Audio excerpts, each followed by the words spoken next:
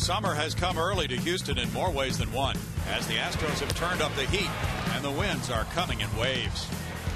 Winning baseball is contagious, and last night Astros bats finally caught the fever.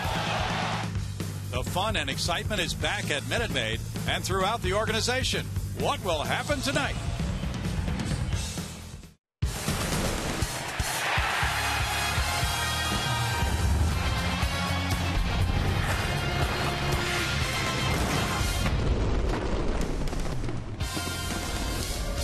From Minute Maid Park in Houston, Texas, Comcast Sportsnet brings you Houston Astros baseball. Tonight, it's game two of this three game series between the Astros and the Milwaukee Brewers.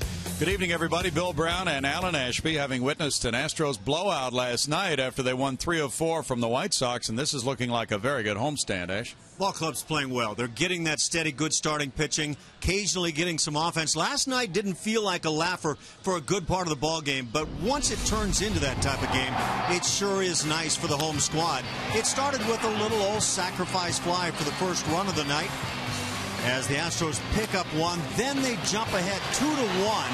So that Squeeze bot that safety squeeze laid down by Marwin Gonzalez. Maxwell scoring, and then Carlos Pena got the act.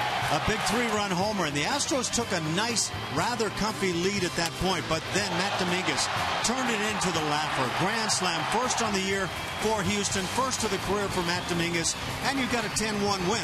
And when you're able to put up 10 runs on the board, the way the Astros have been pitching, you've got a pretty good chance of winning. If they can put up 10 runs on Kyle Lohse, we have quite a story because he has done a number on them the last few years. Kyle Lohse over the last couple of years has been very good against Houston over his career 10 and 8 but you go back over the last couple of years with his changeup and the type of stuff he has 4 and 1 in that span 158 the ERA he's been absolutely dynamite and this veteran can be a very tough one. On the other side Eric Bedard is coming on the heels of a quality start last time out much better than quality in fact as he worked six shutout in one run innings I should say and Eric Bedard has been really a quality starter for this ball club now for some time. One start, just a couple of starts back, he had a little bit of a rough patch, but that's been it. Eric Bedard has been a winner. Coming up, Julia Morales has a special feature with the man who returned to the lineup for the Astros last night. Maxed out. We hope there's plenty of life left in Justin Maxwell. We'll hear from J Max in just a moment.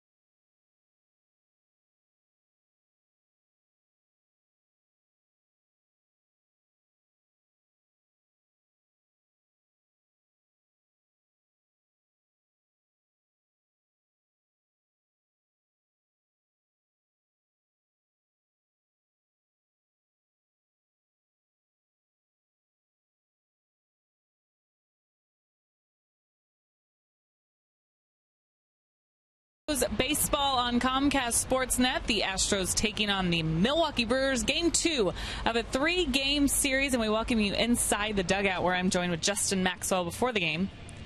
Welcome back, by the way. This is a face we haven't seen in a while, getting back yesterday. How do you feel being back? Oh, it's great. You know, uh, had a good rehab stint. Got to go to Corpus Christi and uh, Oklahoma City, and you know, I'm really excited to play under a roof. I can imagine. Well, we do welcome you back, and first 20 games you were here, team was struggling a little bit. I think it was five for 15. Now that you're back, the team is on a different level, playing really well as of late. Have you noticed any difference? I know you've only been here a day, but have you noticed any difference with this team? Uh, well, I know we have a much more positive attitude than uh, when I left, and uh, I think our pitching has done a really good job in my absence, and we've had a lot of timely hitting. And uh, we always say pitching and defense win, so we're doing all, all those good things right now. It's a good time to join the club, right? Yeah, well, for you, you started off the year so well, struggled a little bit right before getting hurt. So you know, in addition to just trying to get your timing back and everything like that, is there anything you're working on right now? No, I mean that's the main thing. All you can do as a hitter is just try to have good quality at bat and try to hit the ball as hard as you can. So, you know, even before I got hurt, I was hitting the ball hard, just right to people. So, just try to keep it positive and just get them tonight. Which teammate did you miss the most? Uh, probably my locker mate Barnes. Uh, we, you know, we talk a lot, and you know, and JD in the outfield uh, during our early work, we always like to mess around and stuff and have a good time. So I would say those two guys. Thank you so much for joining us, and uh, good luck tonight. Yeah, no problem. Thanks. All right, stay with us. Coming up, the Astros take on the Brewers, trying to put up another big offensive night. Stay with us. First pitch and lineup around the break.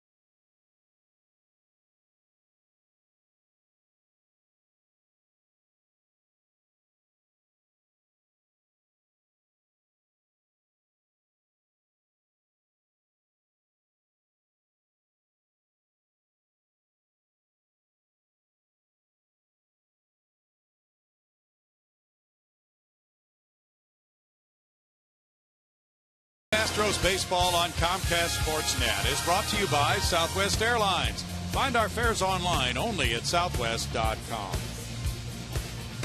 This homestand has been something for Astros fans, uh, something they have not seen this year with uh, the success that this ball club has had so far. With a 4 and 1 record on this homestand, that's more games than they've won on any homestand so far this year, and uh, they have now clinched their first winning homestand of the year and they hope it continues as it's game two of this series, the Astros and Brewers meeting. And here's a look at Ron Roenicke's starters. Rickie Weeks is the second baseman. He's followed by Jean Segura at shortstop. Carlos Gomez is the center fielder. He made an absolutely stupendous catch last night up on Tal's Hill. Aramis Ramirez plays third base, batting fourth. It's Jonathan Lucroy, the designated hitter. Yuniesky Betancourt at first base. Martin Maldonado, the catcher. Josh Prince, a rookie in left field. And Logan Schafer in right field. For the Astros left-hander, Eric Bedard goes to the hill, 34 years of age. He's 2 and 3 on the year. 482 the ERA. He had put together five consecutive very good starts up until a start in Anaheim, then struggled at Kansas City before last time out, throwing six innings of one run ball. That was an unearned run. Eric Bedard has been a very solid and consistent pitcher for the Astros. That defense behind Eric Bedard tonight, behind the dish. It's Jason Castro once again around the infield right to left. Carlos Pena, Jose Altuve, Ronnie Cedeno, and Matt Dominguez, the big hero last night with his first grand slam in the outfield. Brandon Barnes in center and flanked by Justin Maxwell in right, JD Martinez in left field.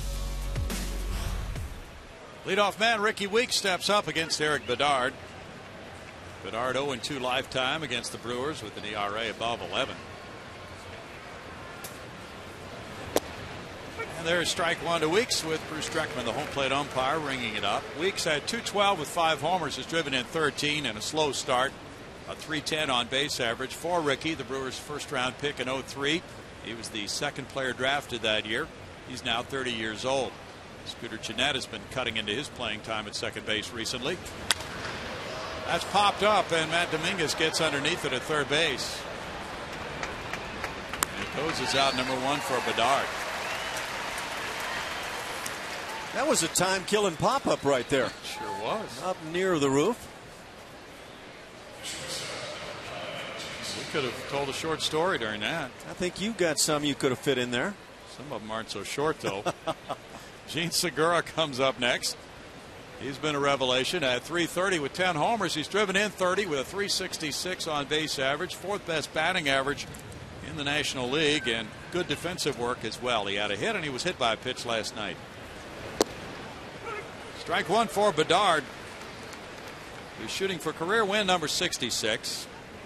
He is 65 and 67 with a 3.90 career ERA, coming off a win against the White Sox with a fine effort, striking out six in six innings, holding the Sox to just one run on three hits.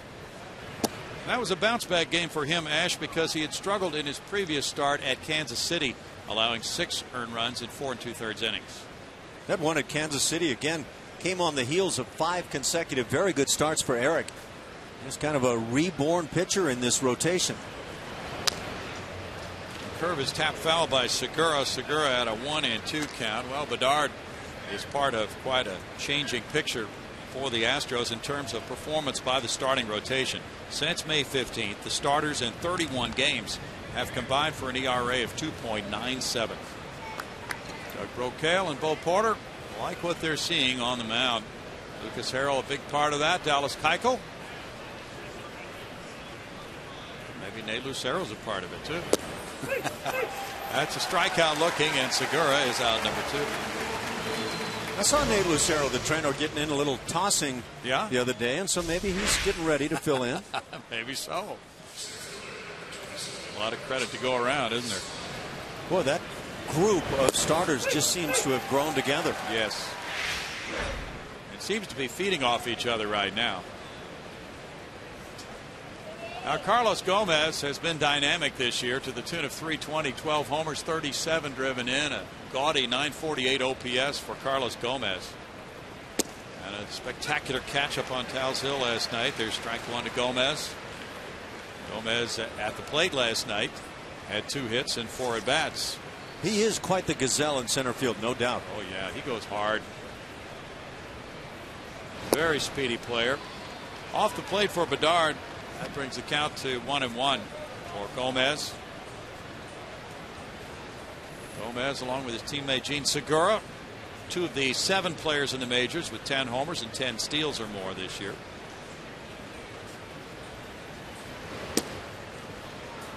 Didn't quite have the bite to it that Bedard probably was looking for, and it's a two ball, one strike count.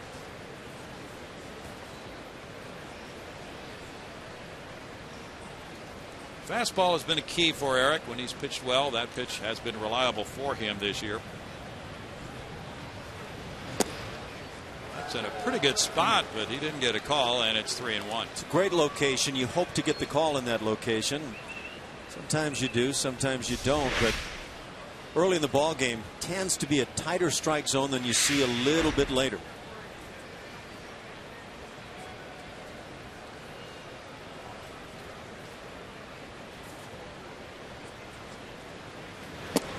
That's in for a strike, and it's 3 2 now to Gomez. I'm going to guess Carlos Gomez might be kicking himself for taking that pitch. Bedard might have been forced into finding the heart of the plate. Brewers are in the middle of the pack in runs scored in the National League. They are missing Ryan Braun, Corey Hart, and others right now. That's out of play. Braun uh, has had thumb issues, and he's on the disabled list. Hart has not played a game all year for Ron Roenicke. And there are others, too, who are disabled. And Nori Aoki has left the club now on paternity leave. His wife due to deliver a baby. Third major league season for Ron Roenicke. 207, 186 so far for Ron.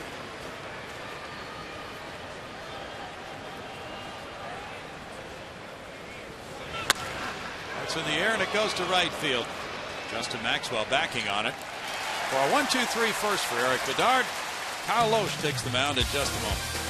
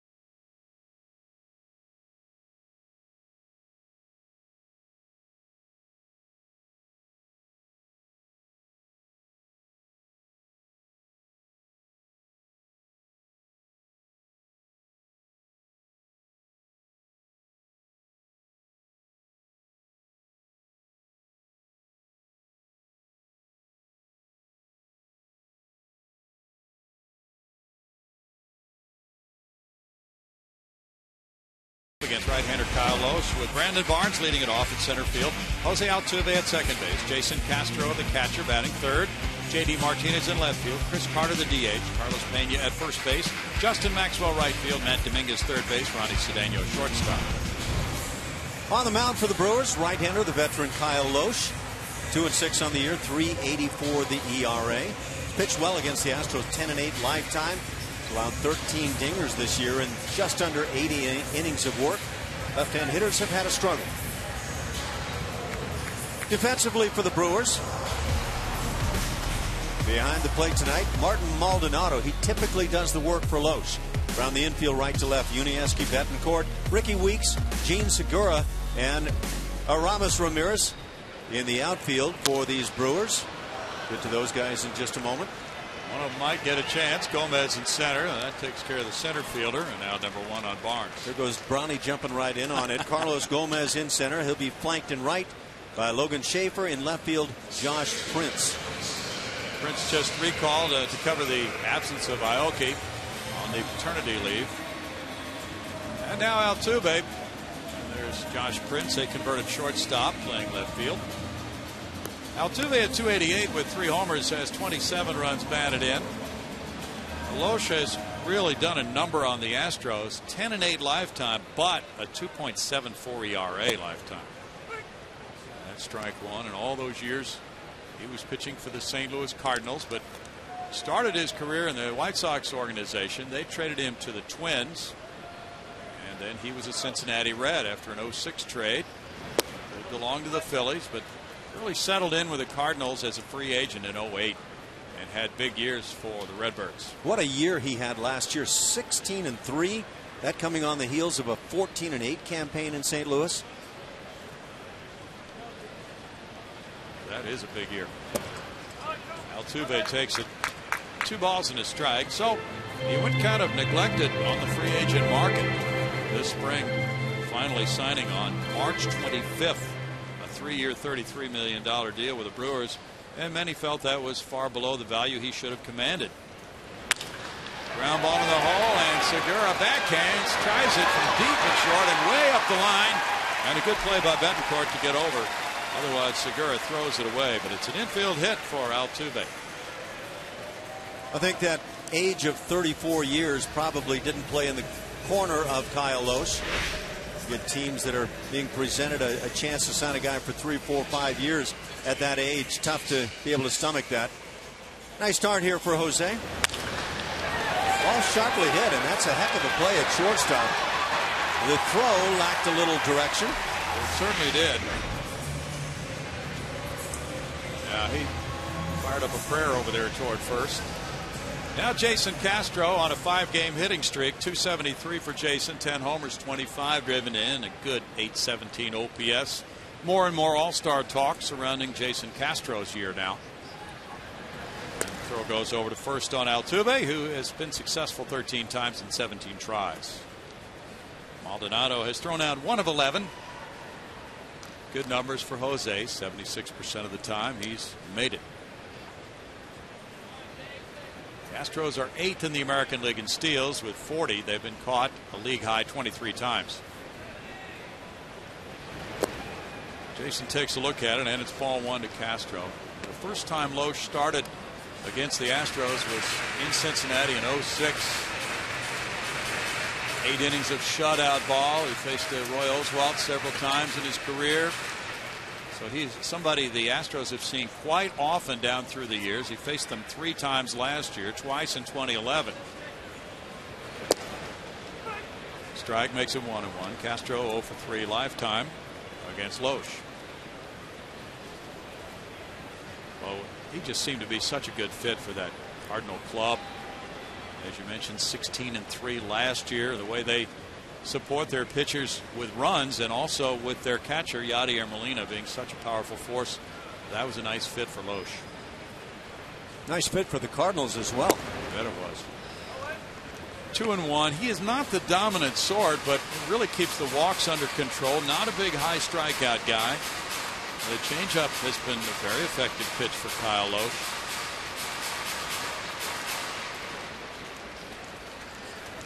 Brewers did have to surrender a first round draft pick when they signed him as a free agent. And that was one deterrent to other clubs signing him this winter. Castro takes a look at it.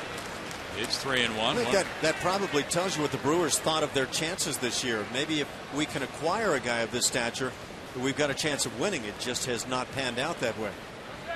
Yeah, Ron Roenicke's club, after having a decent season last year of 83 and 79, sustaining a lot of injury losses and just not pitching well until about the last week.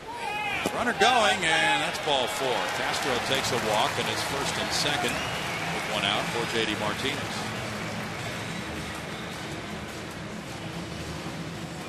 They have really struggled on the mound.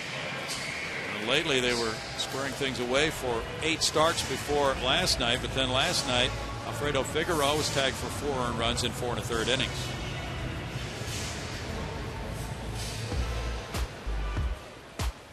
Very competitive ERA in 2011, higher last year by quite a bit, and then 4.39. Foul back. JD with six homers has driven in 24 with a 257 batting average. Last night he had a hit.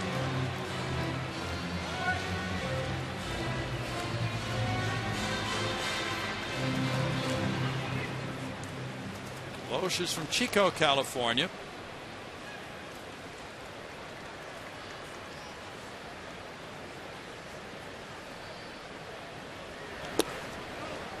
That's a fake toward second base, and pitch was a ball, and it's a one ball, one strike count. I don't know. Don't know if that fake from behind the plate cost the home plate umpire, but that pretty good looking pitch there. Bruce Dreckman has allowed a couple of very good looking close pitches to be balls. It might have cost him a call when the catcher came up.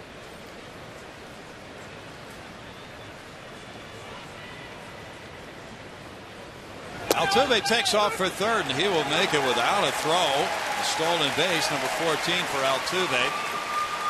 With The pitch going for strike two. Well, Maldonado from behind the plate didn't even flinch on this one. Apparently, that jump for Altuve was that good. Let's catch a glimpse there. He leaves on first move, and I would say that Maldonado might have had a shot. Well, that time he just held the ball there for the umpire. He did get the call.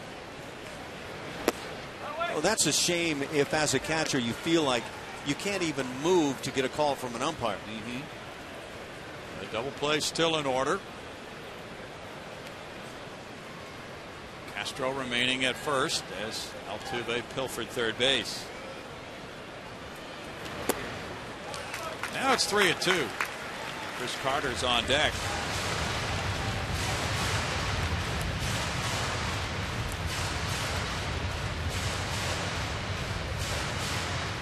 Brewers are 28 and 41. They're in last place in the NL Central, 16 games behind.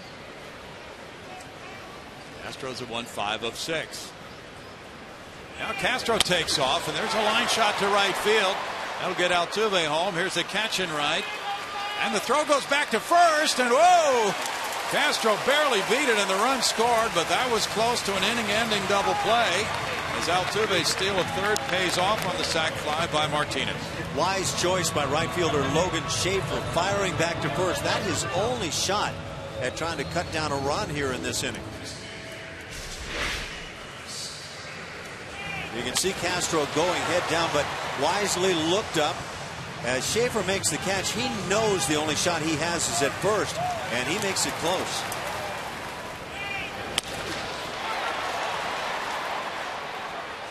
About 85 feet to get back for Jason Castro. There was. Now Carter puts one in the air to center. Gomez cruising over. And in the first inning, the Astros hustle their way to one run on one hit and leave one for a 1 0 lead.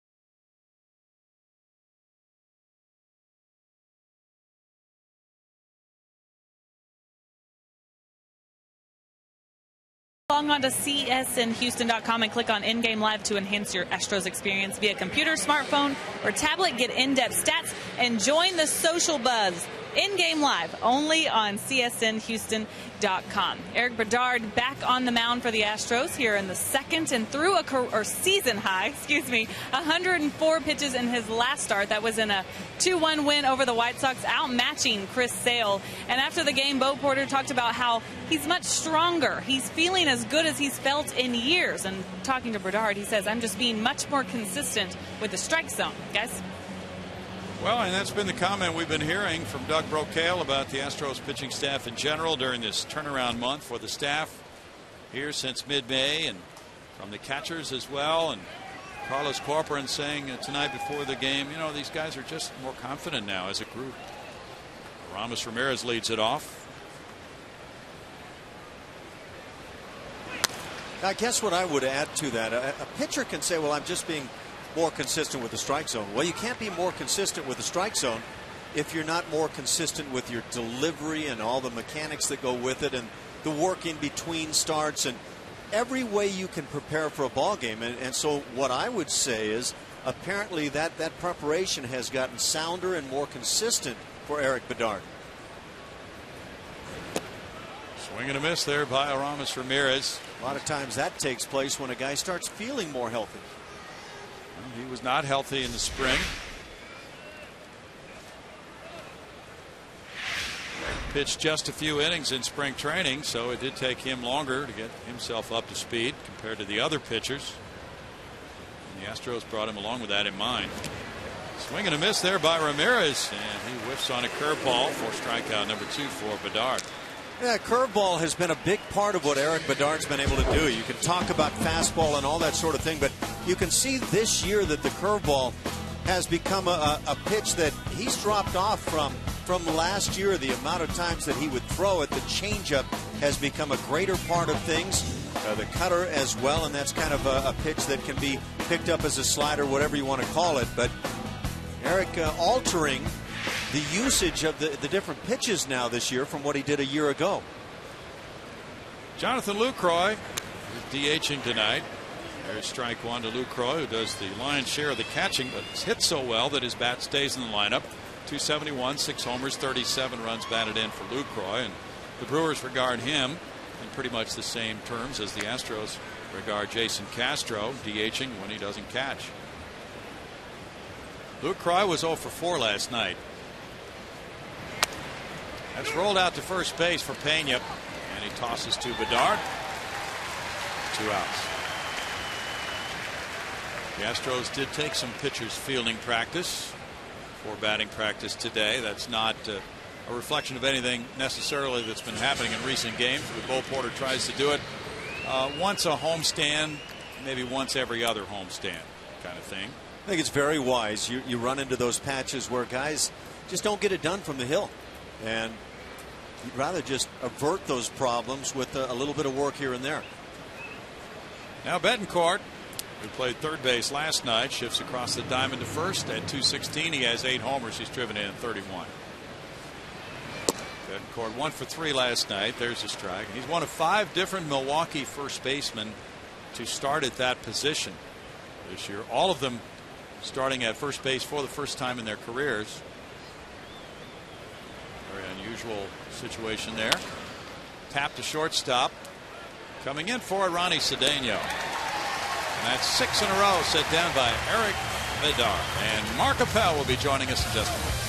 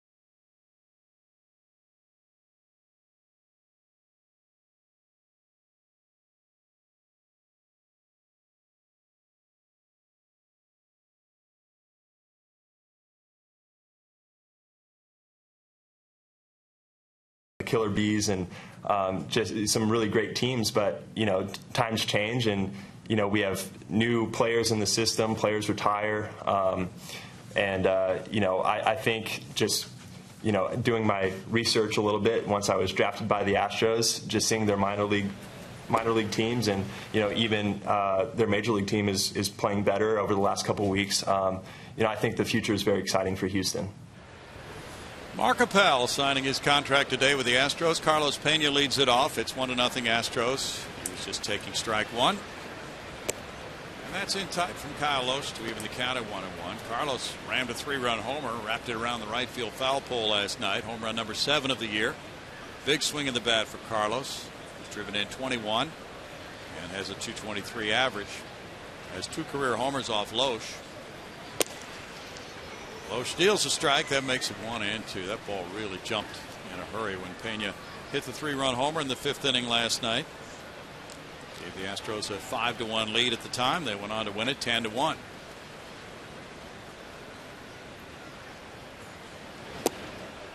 That crowds him, and it's a two ball, two strike count now. Here's a look at that swing. At the fastball. Sometimes the fastball up in the strike zone can be tough on Carlos with that uppercut swing, but not right here. And that was the one that was really the difference maker in the ballgame. The grand slam by Dominguez. That was the icing on the cake. There's a change for a strikeout for Lohse. He has a dandy.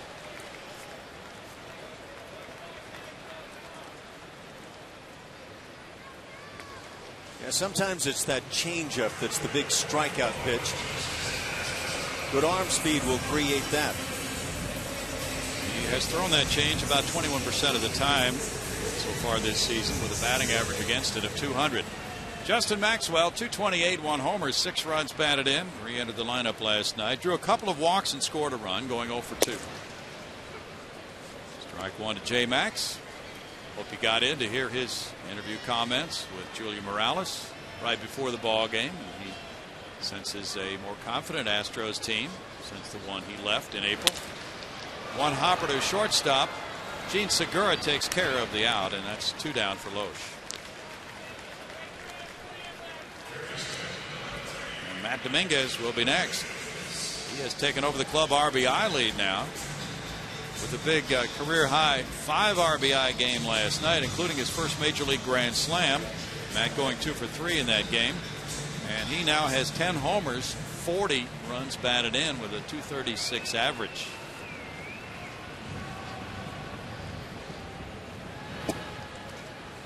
That's ball one to Matt. Very potent number eight hitter for the Astros. Not too many number eight hitters are leading their clubs and runs batted in at this point of the season. Number of third baseman may be, and that's what Matt Dominguez is now starting to become is that corner guy that you can count on for runs. Well, now he's at 298 to this point at Minute Maid Park with eight of his 10 homers here and 27 runs batted in of his 40 in this ballpark. Two and one.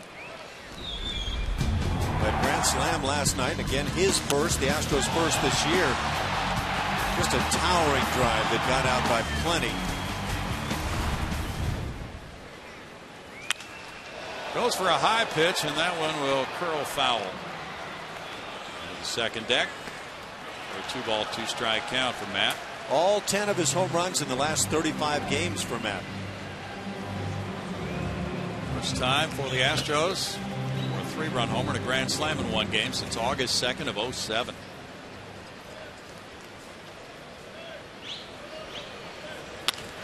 Up the middle, and that will roll on into center field for a two out single for Matt Dominguez. That was that vaunted changeup, but left up a bit, and it allowed Dominguez to get to see it a little bit better. See the changeup in the location, not exactly where Lohse or any other pitcher would like it.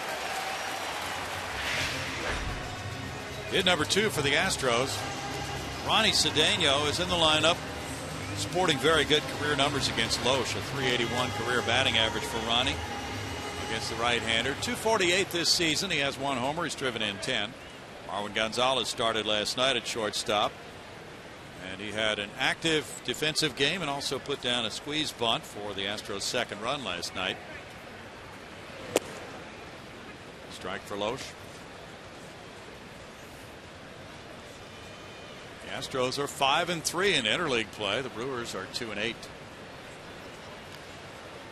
Eight hits and 21 career at bats for Ronnie.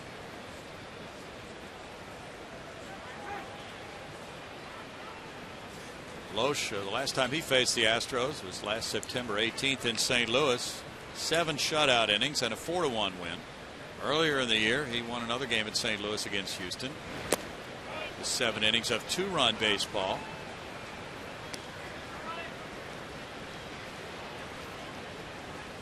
Yovani Gallardo goes tomorrow for the Brew Crew. Their staff ace. Gallardo has excellent career statistics against the Astros. It's a shot. It goes foul. One ball, two strikes. Well, the most recent staff ace that the Astros were able to beat, Chris Sale, and he was terrific for the White Sox. But the Astros hung in there and were able to scratch it out out in the end. And those are the types of ball games that, when you're able to win them and, and kind of start getting that momentum going, you, you really have a chance to turn the corner. That might be the favorite game of all Astros fans if you took a poll on this homestand and perhaps for quite some time on back because with the numbers that Sale brought into that game and the way he was throwing that night, they really had to scratch and claw for that one. But he struck out 14 and the Astros still won the ball game. Yeah, that was really a rarity. He did not give up an earned run. That one goes foul as well. And Erik Bedard was the winner on that occasion, two to one. Erik didn't give up an earned run either in his six innings. That's been kind of the pattern for the Astros wins here the last few weeks. Low scoring games. Very well pitched. They're surviving with a minimum of offense. Ooh, the rain is pouring down. Didn't see that coming, did you? Looks like a perfect day for a ball game in here. Can you imagine? How many rain delays we have avoided? two and two. Yeah, looks like it's coming down good. Just don't miss my yard this time. No, you're getting hammered. That's one case where I'm thrilled to get hammered. yeah, we do need that.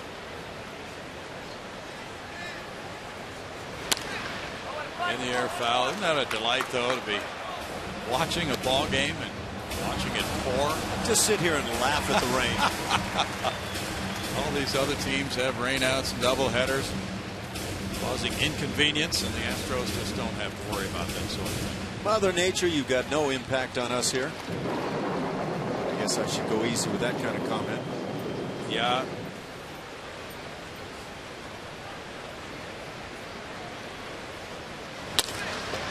Rolled out to shortstop. Segura with a quick flip to second. Whoa, very close there as Dominguez hustled, but Weeks got the call on the toss from Segura, and it's 1 0 Astros.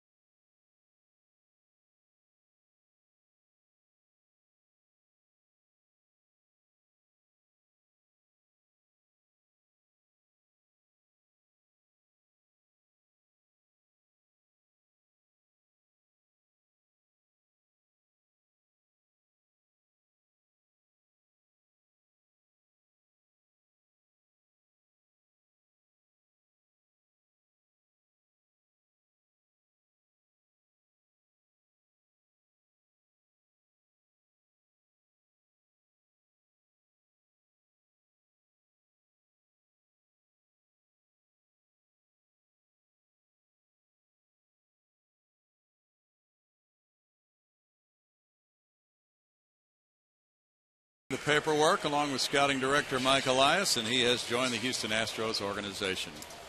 Very thrilling time for everybody involved in this, including us, and uh, nice to meet you, Mark. And it actually happened pretty quickly. Right after graduation, it got done. Yes, sir. Uh, I'm, I'm glad it got done quickly, and uh, you know I'm excited to get out and play.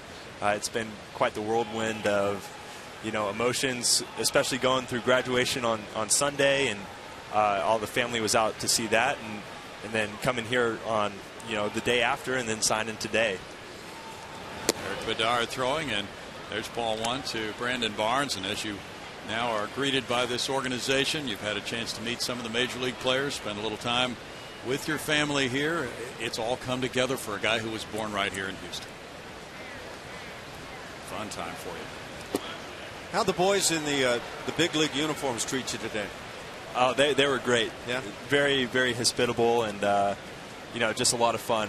A great, great group of guys from the guys that I met. No intimidation, nothing, uh, nothing laid on you at all. Uh, Bud Norris is, is quite the character, and he was giving me a hard time going to Stanford. Ah, yeah. yeah, shame on somebody for going to Stanford. Now, you had not met Jason Castro until today, is that correct?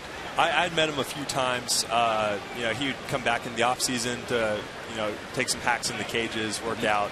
Um, so I met him a few times there, but, you know, it, I got to talk to him a little bit more today.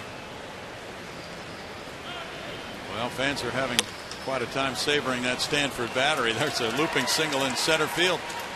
And uh, Bedard gives up a leadoff hit to Martin Maldonado. Well, Mark, we've watched plenty of you on the field for Stanford, and all of it very impressive. As you watch Major League Baseball, how close do you feel like you are right now? Um, yeah, I, I feel like I, I, could, you know. Go ahead and say what you really mean. you know, I, as a competitor, I want to go out and compete right away. Um, but you know, I understand that, you know, I, it, it's all it's not completely in my control. I can only control going out there and competing every single every single day, and uh, you know that's what I'm going to focus on. And, and, you know when I get to Houston, I'll get to Houston, and you know hopefully I can help the Astros be a really good team in the future. You know what that sounds like to me? It sounds like you feel deep down inside that given the opportunity, you might compete and do it well at a, at a level higher than most people might guess right now. Is that uh, fair to say? I, I, would I would hope so. Yeah. Um, you know, I, I I trust my abilities and. Uh, you know, I, I, love just getting to go out there and, and compete. Um, but you know, it, it like like I said, a, a, lot of it is uh, you know out of my control as far as the timetable um, to get to Houston. And Prince fouls it. It's 0 2. Well, you'll go to Florida now, get in shape. How long has it been since you pitched in a game? It, it was about three weeks ago or so. Um, last game of the season against UCLA. Uh, we actually won the series against them, and uh, you know, it's it's funny sitting at sitting at home on our couches watching them in the College World Series, thinking, you know, we could be there. Um, but you know, they're they're a really good team, uh, and we're rooting for them. So, with not pitching for a few weeks, does that serve as a disadvantage for you when you do get back on the field, or is it maybe an advantage in a chance to kind of rest the arm a little bit? I, I, I think it. I think it'll help in the long run. Um, getting to rest the arm is, is a big plus, obviously. Um, but you know, I, I think uh, I think it'll take me, you know, maybe a couple extra days to get back in throwing shape. Um, but you know, like I said, I'm I'm in no rush uh, necessarily to uh, to go out there. I want to make sure I'm 100% when I you know step on the mound for the first time out in Florida. What are your strengths? Maybe your weaknesses as well, as you see them right now. Um, you know, I, I think uh, my com- my competitive nature is a strength, um, and you know stuff I've been working on this season, um, including you know my my uh, fastball location, my off-speed pitches. Um, I, I, just feel like I, have really improved um, most areas of my game uh, over the last year. Prince hits a grounder. Let's see if this is a double play. Altuve makes it a 6-4-3 double play. That looks pretty good behind you when you get up here, right? Yeah, that that is good. Uh, yeah, I love how uh, I think the Astros have they've been turning double plays like crazy lately, and uh, you know having a great defense behind you is always a plus. How was your defense at Stanford this year? Uh, it, it was pretty good. Uh, obviously not major league quality, but um, you know we well, lost, I, I hope the guys are not listening to you right now. well, no, we, we, I mean we lost we lost a few games because of our defense, but we also won a few games because of our defense. Um, you know, I, I, think the the difference between college and major leagues is the consistency. Um, of, of, the, the play behind you and the you know the offense and everything. And I think that's what really plagued our team at Stanford this year was just inconsistency. You made a rare decision to go back to school, even though uh, you had been drafted by the Pirates uh, with a number eight pick, and it sure worked out, didn't it? Uh, yes, sir. I, I, couldn't. I don't think I could have orchestrated it any better. Um, you know, I, I, just really see God's hand in it all. You know, knowing that I was kind of taking a leap of faith going going back to school and um, just really being able to focus and uh, worry about the things that I can control. And you know, I, I, couldn't control whether the Astros would take me this year or not, and you know, it all turned out great. Well, Where, you could control getting your degree, which you did, and you could control improving as a pitcher, which you did. Yes, sir. Go ahead, Ash. I was just going to say, uh, whatever goes on this year for you, wherever you wind up, and and all that sort of thing. What sort of thing do you want to say to your family members when it's all said and done this year about what you've been able to accomplish in your first year of pro ball? Uh, well, I think the first thing I'd tell them is um, how thankful I am of their support and everything, because I don't think it was an e- easy decision. Um, the decision I made, I don't think it was easy on them either. Um, and, and, them just, you know, supporting me, trusting me. Um, you know, if you were skeptical when I decided to go back to school, um, and and you know, lo and behold, I'm you know sitting here up up with you guys at at Minute Maid Park. Uh, Isn't that amazing? It, it's incredible. and, you know, for a Houston-born guy to be the first guy in their pick and coming back to play for his hometown team, congratulations! Welcome to Thank the organization. you. It's a real blessing. Way Thank to go, Mark. All the best to you, Mark. One nothing Astros.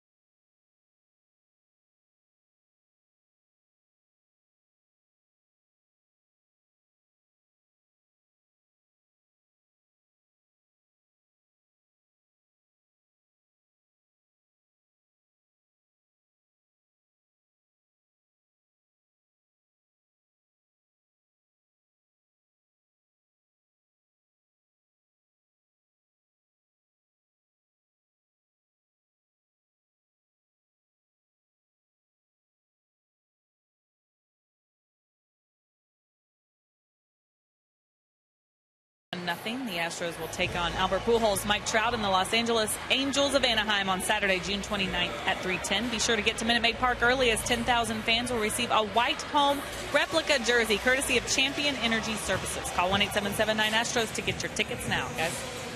Thanks, Julia. I will see a lot of those jerseys that night. Saturday, June 29th at 3:10. The Angels in town.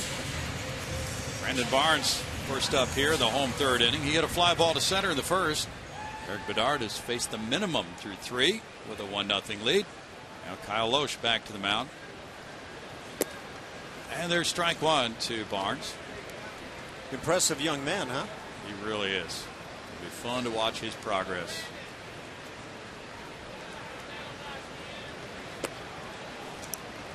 There's a ball to Brandon, and it's a one ball, one strike count. Well, we've had some action up on Tal's Hill this homestand. Brandon with his catch the other night, and then last night, Gomez with a big time play there. If you had done the picnic recently, you'd have been on Tal's Hill, wouldn't you? oh, yeah. You know it. One and two. Brewers, of course, trading Zack Greinke last year. Picked up Jean Segura in that deal and a couple of minor league pitchers, one of whom is at AAA and pitching well right now. So then Lohse coming in to join them this year, and it just has not worked out to the tune of 18 wins and 30 losses for their starting rotation.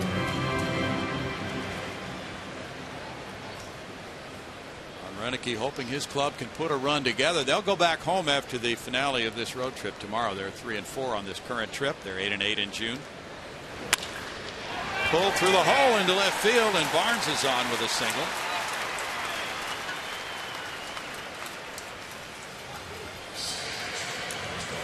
Three hits for the Astros. He's aboard for Altuve now. Brandon Barnes could be a real difference maker as the Astros move forward if he can keep this bat going. Playing solid defense in center field, been picking up some stolen bases.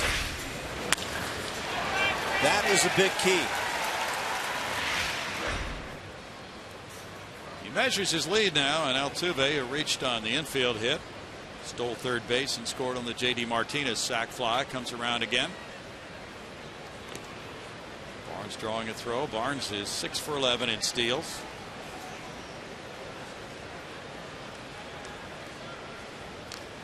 Gallardo takes a 13 and 3 lifetime record against the Astros into tomorrow's game. That's a 110 start, and then the Astros are off to Chicago after the game. Lucas Harrell goes for Houston. There's a liner between third and short. Altuve hits that same spot, and it's first and second, nobody out. Altuve two for two tonight. Jose needs a, a nice hot spurt. Get himself back over 300 start drawing more attention in terms of the All-Star vote.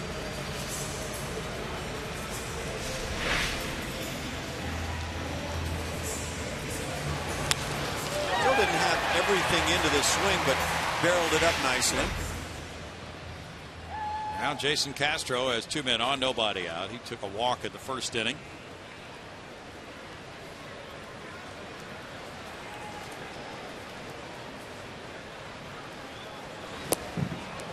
Strike one, he really let the bat fly. Take a little walk out of the batter's box after that one. And Castro has the capability here this season to do some things that no Astros catcher has ever done in terms of power production.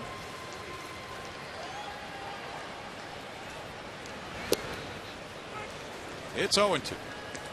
This kind of floats that semi changeup on the inside corner there taken a little bit off the fastball. I was really glad to hear that Mark Appel is a guy that already has developed a changeup and feels like it's a big part of his repertoire. Yes. Well, that was uh, one thing that put him at the top of the list for the Astros. The polish that he has acquired. There's a grounder foul. You know, it's it's so fascinating for those who, who follow this sport closely coming up to draft time to read about all the different possibilities, read the scouting reports. And then uh, scouting director Mike Elias was explaining that Sig Mejdal, the director of decision sciences, and his crew have a way of normalizing these statistics. We'll say you have a Mark Appel playing for Stanford. You have a Jonathan Gray pitching for Oklahoma. They play in different conferences, one stronger than the other.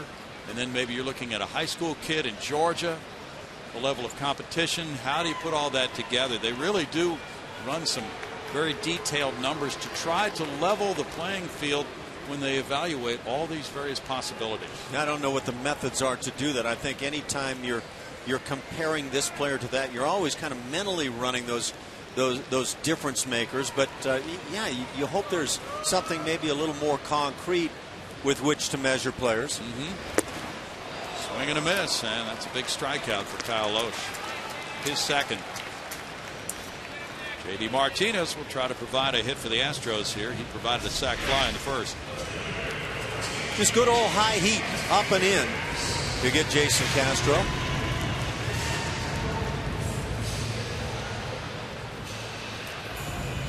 Martinez hit his fly ball to right field, and Altuve was able to score on it from third base for his 25th RBI.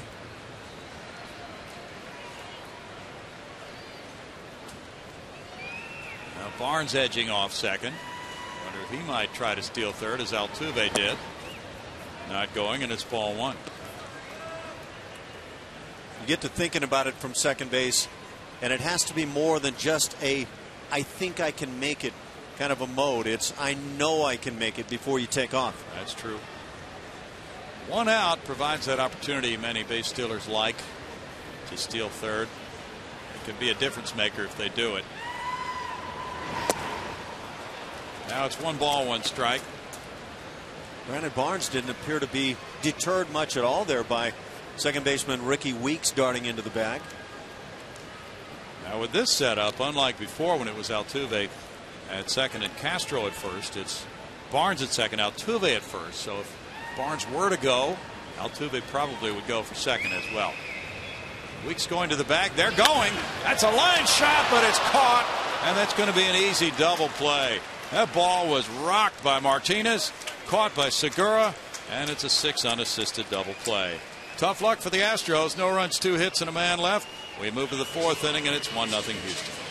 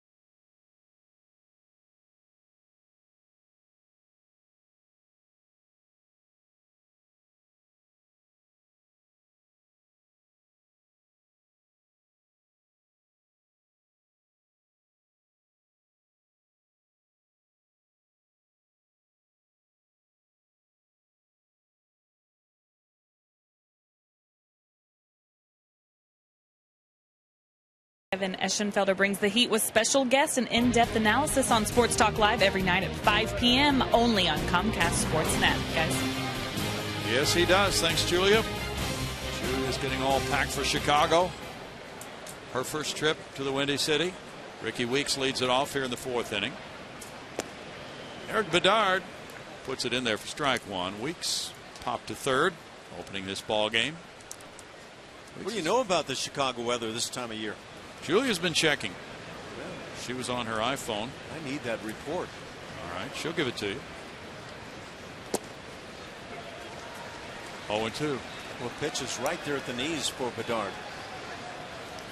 We're going to get that weather update from Julia right after this Rickie Weeks at bat, which will be a ground ball to shortstop for out number one. That's what I call a forecast. Long as we're in the forecasting mode. Why not give it a spin? There's a chance of rain, Ash. Ooh, man, you are all over it. Get ready, Ronnie Cedeno.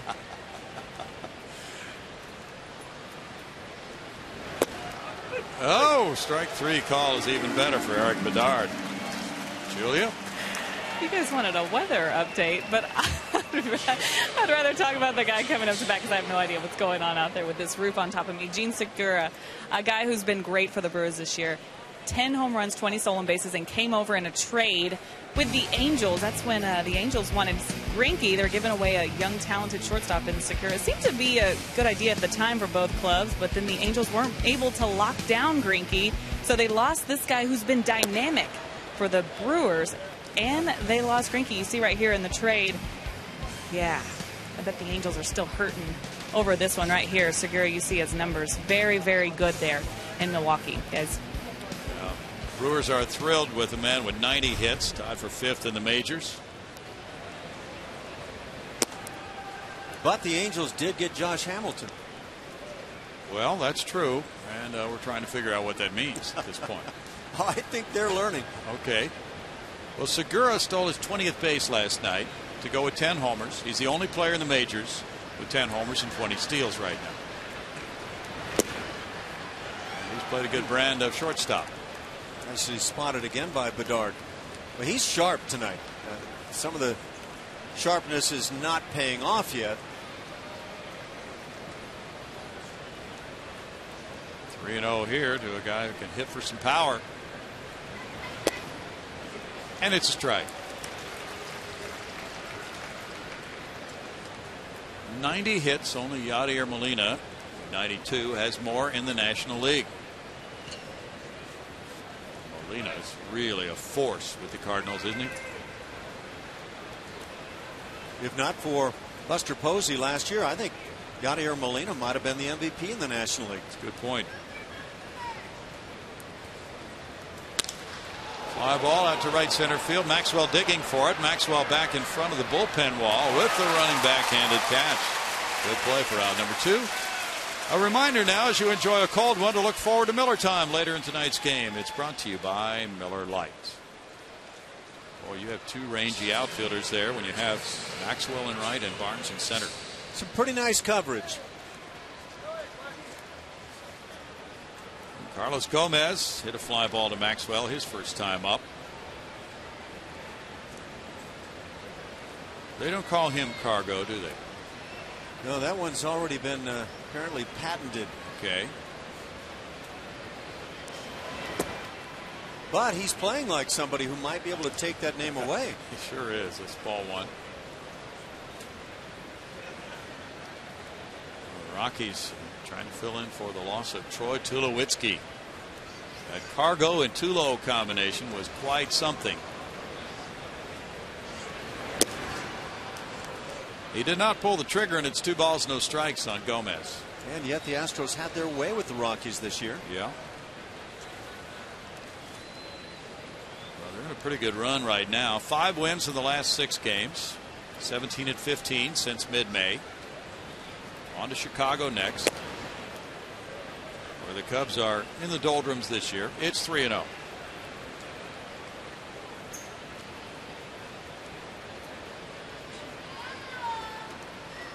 Brewers are 11 and 20 in their division, the National League Central.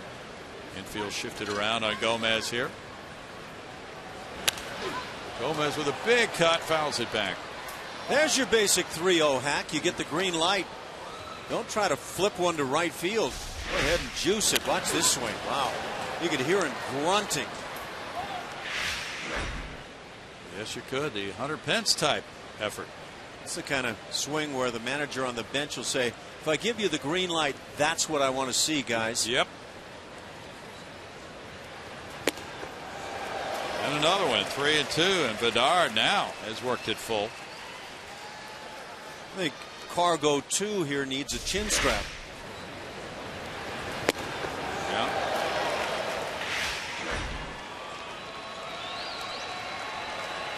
Maybe give a major league hitter three reps like that, and it's going to be interesting.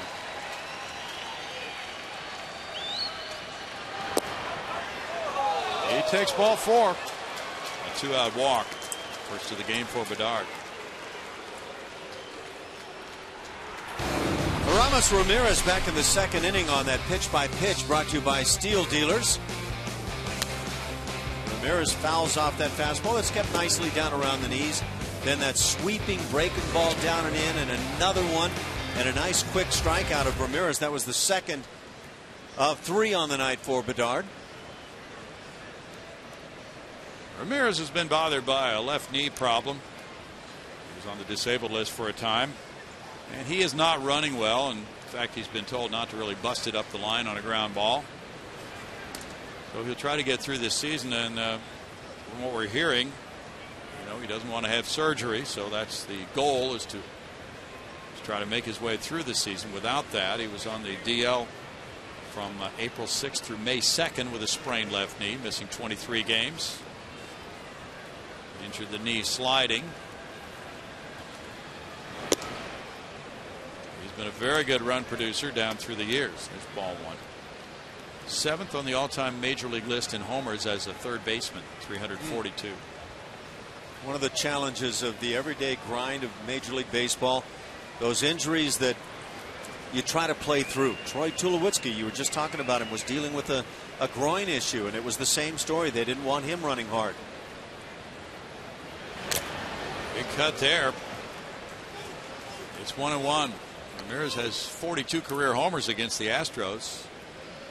142 runs batted in, and he is three for five with a homer against Bedard.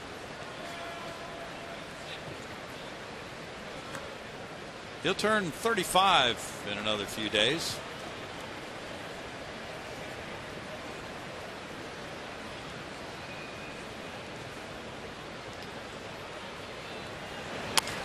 Ground ball third, Dominguez. Throws to Pena. No runs, no hits, and a man left. Middle of the fourth inning, 1 0 Houston.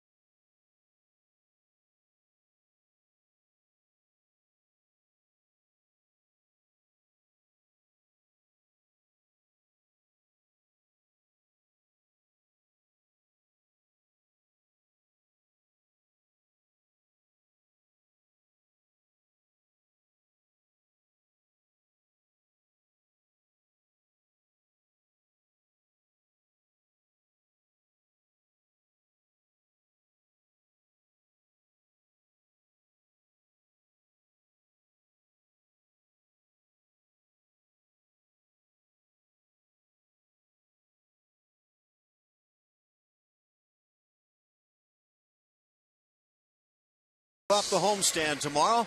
That's in the afternoon against the Brewers. Come see Castro, Dominguez, and the rest of your Astros face off against the Brew Crew. Call 1 877 9 Astros or visit Astros.com to get your tickets right now.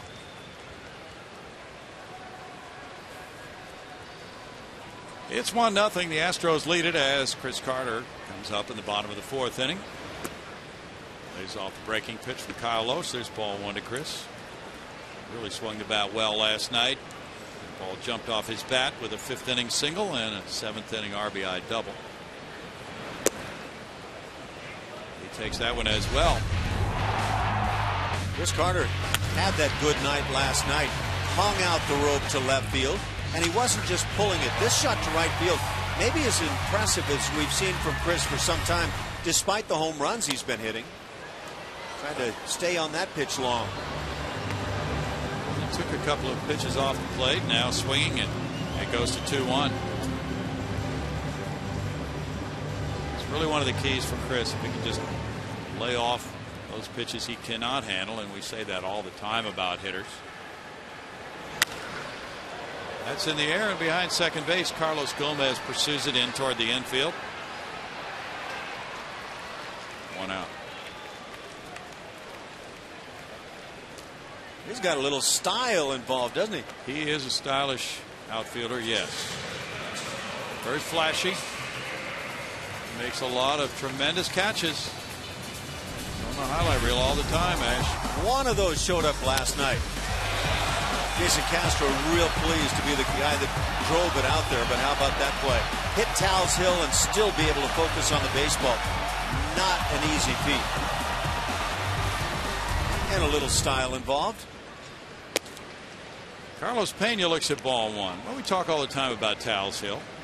People have different opinions on it, but we have seen some really highlight real catches on that hill. And that's what distinguishes this ballpark from others. We've seen outfielders fall. We've seen them make great catches. Lohse with the comebacker takes care of out number two. Well, I told you my opinion last night. I kind of like Tal's Hill based on the distance it is from home plate. This is the classic of all time. what a catch that is. And the smile that follows. Yeah. But his glove was actually facing the wall. I don't right. know how he pulled that off. It was a phenomenal catch. You're Lance, right. Lance had a way of pulling off a whole lot of things. Watch where the glove is facing toward the wall. That's absolutely amazing. the feeder and the legs are trying to deal with Tal's Hill, and the brain's just not catching on. Yeah. Ball one to J Max. He grounded out to short in the second inning. That was truly a phenomenal play, considering all the elements involved for Lance Berkman, who did not play a whole lot of center field in his career. But you know what? When he did, I thought he did a quite a nice job. Well, he's just one of those special athletes. Ball, one strike. Wouldn't necessarily prefer him in the outfield if given a choice of playing him at first base. Look at this target. One and two. Maldonado down in the Tony Pena like splits. Benito Santiago and Tony Pena, probably the two guys that I most think about with, with those uh, ballet induced positions. I'm not sure. You ever do that one, Ash? Well, I couldn't even begin. I would have never gotten up. I- I'd do that if uh, somebody had picked me off from behind, but no getting up. Scotty would have helped you up. Yeah, if he thought he could take some money on the golf course the next day. Danny Darwin would have lent a hand. Three balls and two strikes. Dr. Death.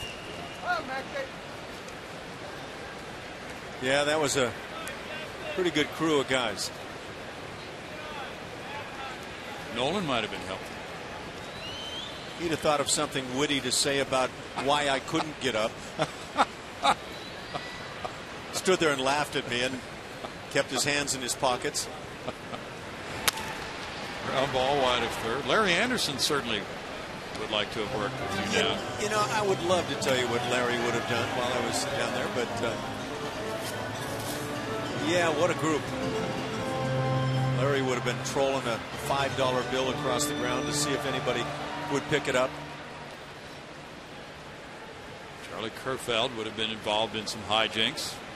Would have been some ribs and chicken involved there. A strikeout ends the fourth inning. Kyle Lohse keeps it close. One to nothing Astros through four.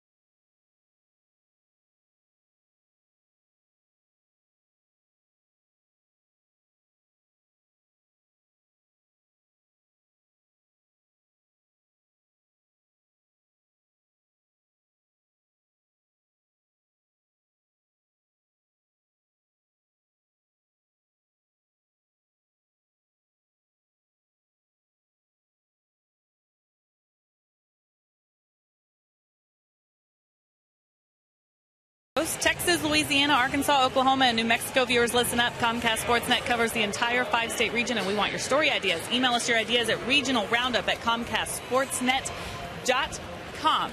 I'm with a very special guest. We've been we talked to Mark Appel earlier, the Astros' number one pick this year. Now we're going to hear from mom. This is Sandra Appel with me now, and Sandra, what has this day been like for you as mom, getting to watch Mark?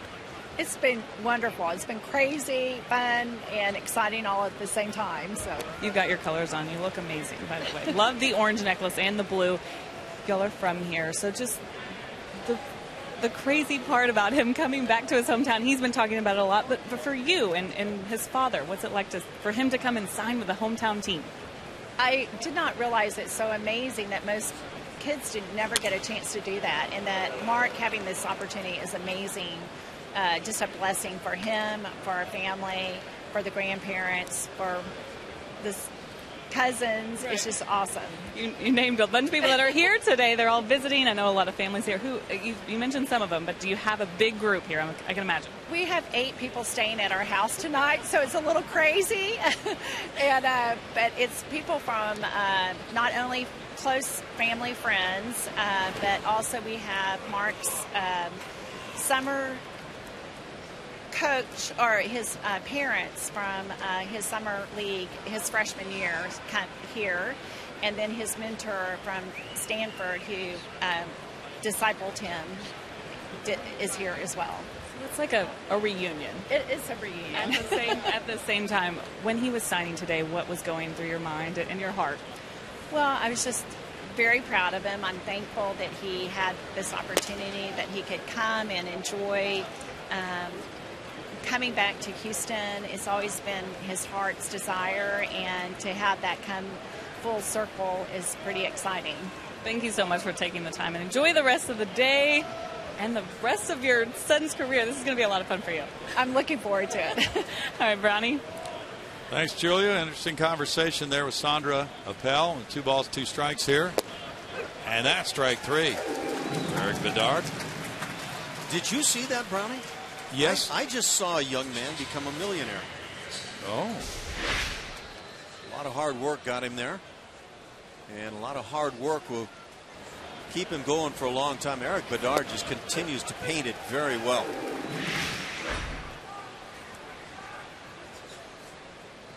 Bedard at age 34 having a resurgent type season after going 7 and 14 for Pittsburgh with a 5.01 ERA. And there's ball one to Betancourt. He grounded to shortstop his first time up. Bedard was a sixth round pick by Baltimore, 99.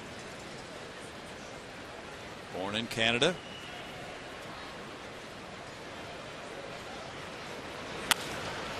Pull to third. Matt Dominguez right there. Two outs. Like that last start for Bedard against the White Sox, he's making it look rather easy.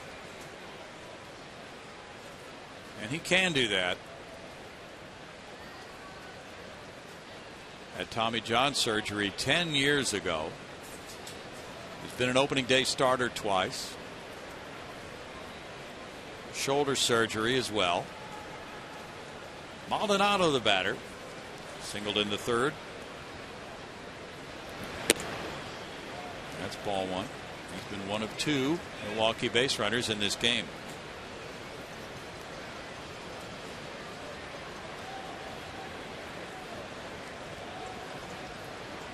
Brewers are 12 and 21 on the road. They'll go back home for about a week after tomorrow's game. Tap foul, and it's a one ball, one strike count.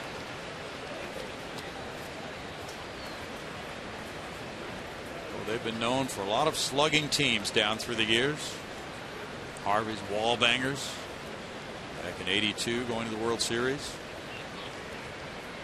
Great hitters like Paul Molitor, Yount, Boy, they had a punch, didn't they? Cecil Cooper, Don Money. One and two. Pretty good name for a guy in a clutch situation, isn't it? Yeah, he's money. And they were great sign stealers back in their day. It was a crafty bunch. They were they were really good, and, and they had the power you talk about. But You're right. They they found every way they could to take advantage. Mm. Read a story about that the other day. Pretty interesting. Two and two. The Angels were playing the Brewers, and the Brewers had their signs.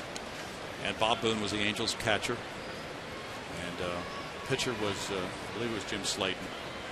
Doesn't really matter who he was. But anyway, the pitcher said, Well, what do you want to do, Bob? He said, Just throw whatever you want to. I'm not going to give signs. So he did not give signs the rest of the game, and they won the game. Hmm. But the pitcher was depressed because he said, Boone never had a pass ball all night. My, my career's over. My stuff isn't good enough to get by the catcher. One nothing Astros.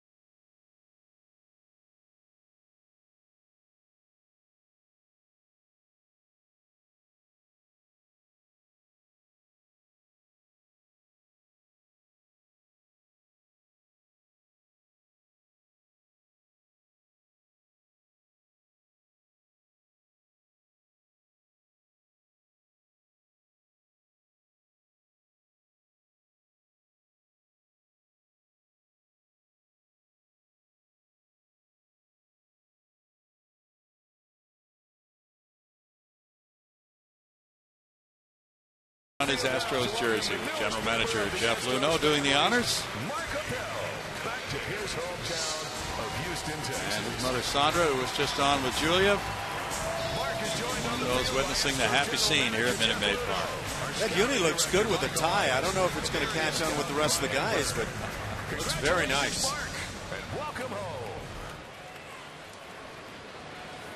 One nothing Astros. Matt Dominguez leads it off against Kyle Lohse.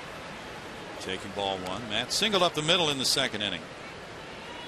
Four hits for the Astros. They've all been singles. Just one single for Milwaukee through five against Erik Bedard. It's 2 0. So at age uh, 22, Matt Dominguez drove in five in a game. Jeffrey Leonard did that for the Astros when he was 23. Cesar Cedeno did that at age 21 for Houston.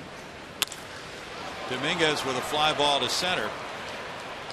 Caught by Gomez. This moment in history is brought to you by MD Anderson making cancer history. June 19th of 1972, Larry Dierker hurls a one-hitter to blank the Mets 3 to nothing. Duffy Dyer's third inning single is the lone blemish on Dierker's night. Tommy Helms delivers four hits to lead the Stros offense. The day before, Jerry Reuss had tossed a one hitter at the Phillies. The back to back one hitters time major league mark and establish a club record. That guy was pretty good. Oh, yeah. Now, Ronnie Cedeno takes a look at ball one, correcting Dominguez's age. He's 23 now. The Astros are 63 and 39 here at Minute Maid Park against the Brewers. Off the end of the bat, it's a one ball, one strike count for Kyle Lohse, who is two and six despite a 3.84 ERA. Haven't seen Dirk out of the ballpark here recently since his no reemergence with the club. No, we have not. He must be on vacation.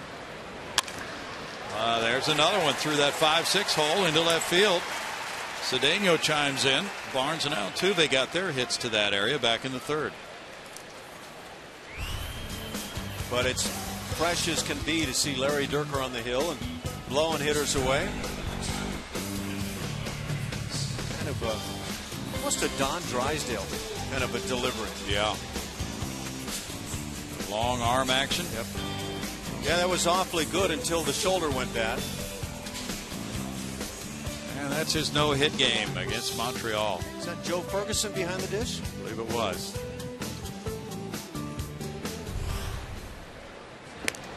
Throw goes over to first on Cedeno, who's two for two in steals. Brandon Barnes singled in the third. Brandon's one for two.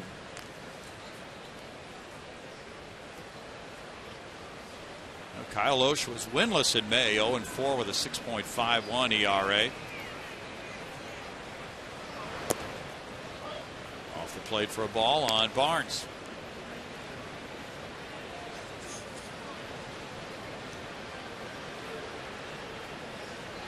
In this ballpark, Lohse is 3 and 5 with a 4.06.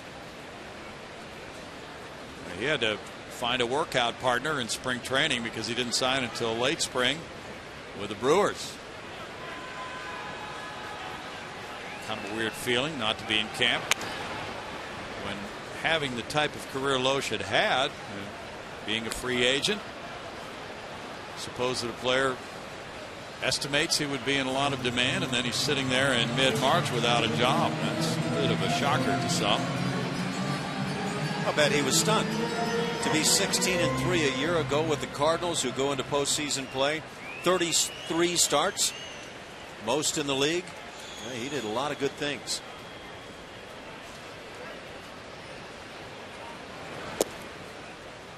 It's two balls and a strike. Major League Baseball Diversity Summit took place today at George R. Brown Convention Center. Commissioner Bud Selig in attendance, along with representatives of all the major league clubs. Brewers owner is here, Mark Attanasio.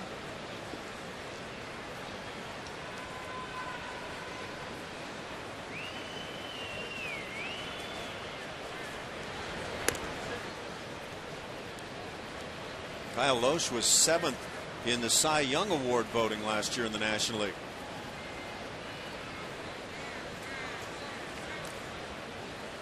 He's thrown 70.6% first pitch strikes this year. It's the highest among all National League qualifiers.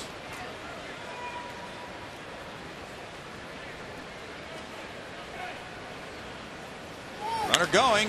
Ball's hit in the air, and Daniel will just take a look at it as the left fielder Prince comes over and handles out number two. Altuve comes up.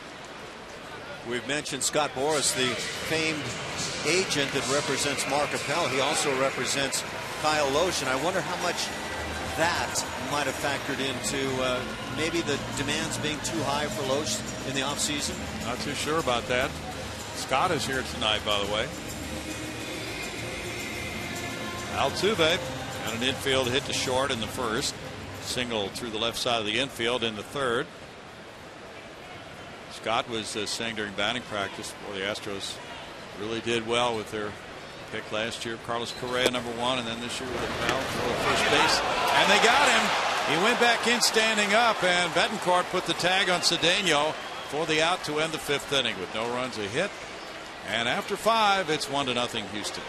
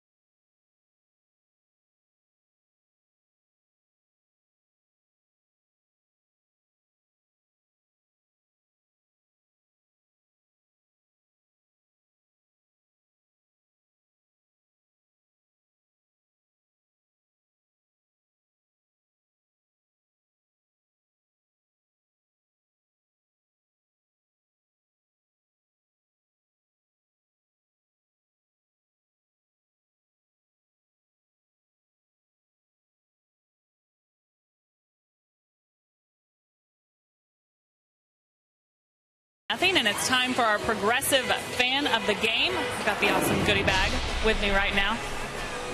And I've got Alvaro, who is my fan of the game. Got the goodie bag. Alvaro, do you play baseball? I play baseball in all stars. Who do you play for? All stars. The All Stars. The Astros or the All Stars, both. You're an All Star and an Astro, and you're also the progressive fan of the game. So take this from me. Congratulations. Brownie, he's precious. Oh, yeah. yeah, he's a cute little guy, isn't he? So you can just hang out there for a while and talk to him. And there's a foul ball by Prince, and uh, Justin Maxwell comes over toward the right field line. Now it's fair ball for out number one on one pitch. Well, Prince, who hit into a double play, puts one in the air, and Bedard gets out number one. Julia gets all the good gigs. She really does. Julia is going to really be a valuable assistance to us in Chicago with those starts at 120. Stay out of the ivy. Mm, that might be a feature. Logan Schafer struck out earlier. Where is Andre Dawson now? Yeah. That's ball one to Schafer. Will Porter has already schooled his outfielders. If a ball disappears in that ivy in the outfield, don't try to reach in for it. Just throw your hands up in the air so the umpires will declare it an automatic double.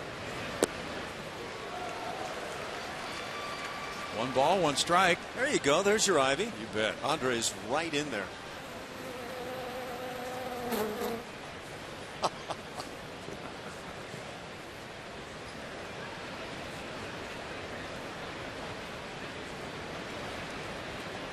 Ash, you were not around for this, but it was probably a couple of years ago.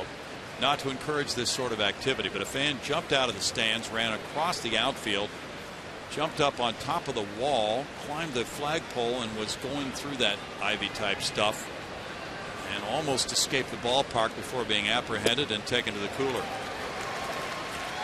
Two balls, two strikes. Felt like he had it worked out. It, I wouldn't have been surprised if he did that maybe he had a change of outfit that he could put on while he was in the ivy and not be recognized once he got to the seats. We were looking for the cape, but we couldn't find one.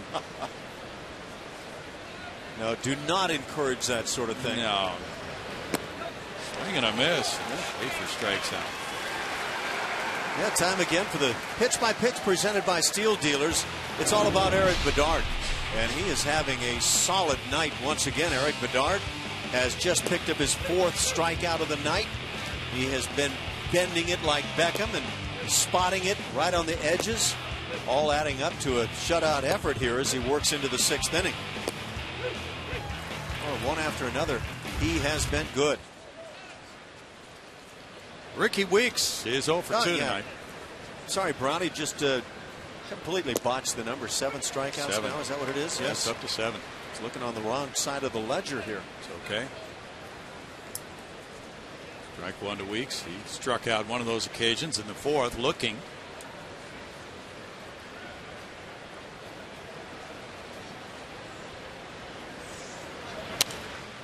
Foul back. No balls, two strikes to Rickie Weeks. Bedard now has uh, his longest string of consecutive homerless innings since a 24 inning streak for the Pirates in April and May last year.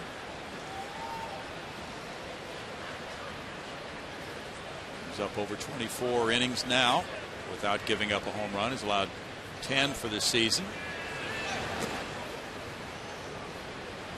It's a one ball, two strike count. Erik's ERA, nothing to write home about at game time, 4.82, but that really doesn't describe the way he's been pitching lately. And tonight, another one that falls into that excellent category so far with 72 pitches at work.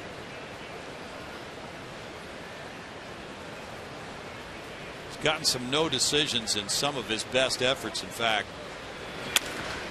Line into right center field. A hit for Weeks. Only the second for the Brewers tonight. Don't forget for Erik Bedard, his third outing on the year. He worked just a third of an inning at Oakland, allowed six runs in that one. It was just one of those miserable days. And it could have done in a lot of pitchers. It did do in for some good period of time the statistics. So he's been still working at trying to improve those numbers, and he's been doing a great job. Uh, no complaints by anybody in the Astros about Erik Bedard's work. This is his 13th start. Segura is 0 for 2 with a strikeout looking at a fly ball to right. Bedard, after the start against the Yankees on the road May 1st, had an ERA of 8.20.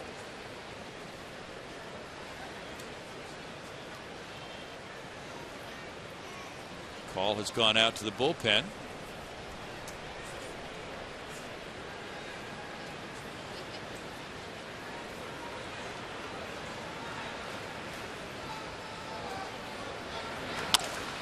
That's a liner off the end of the bat out into left center field. Weeks will go to second and hold there as Barnes comes up with it on the single by Segura. Segura continues to be a hitting machine. It's 91 hits. Bet the Angels wince with every one of those hits.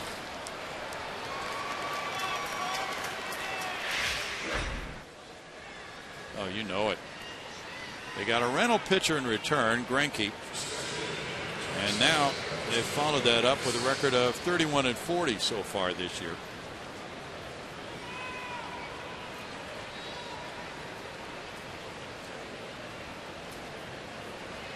Little glove talk at the mound as Gomez comes up. Well, after a couple of hits, this is not the guy you want to see coming to the plate.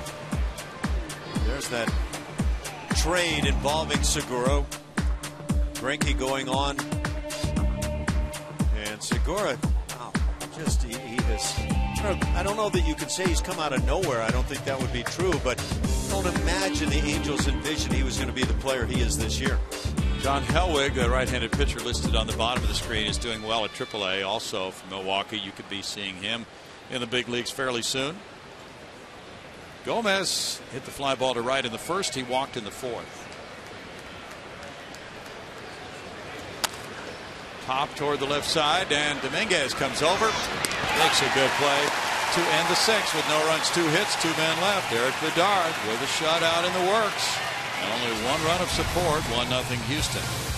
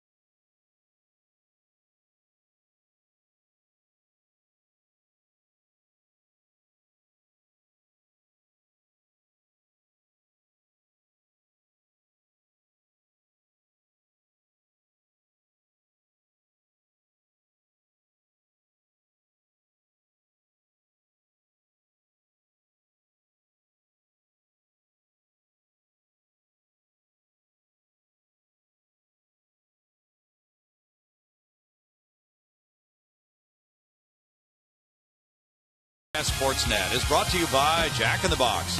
Now's your chance to go big at Jack in the Box. Try Jack's Big Stack Burger. Two jumbo beef patties stacked with onion rings, cheese, and pickles.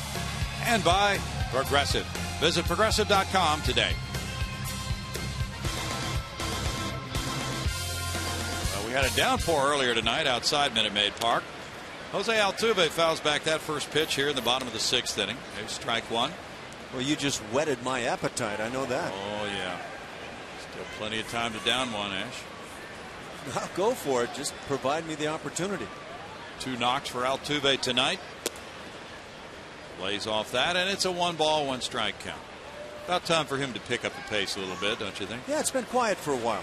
Yeah, even despite a hitting streak where a lot of the games were one hit games. Broken bat looper goes foul. One and two. Well, let's see. Had two hits in the final game against the White Sox. Two hits in the first game of that series.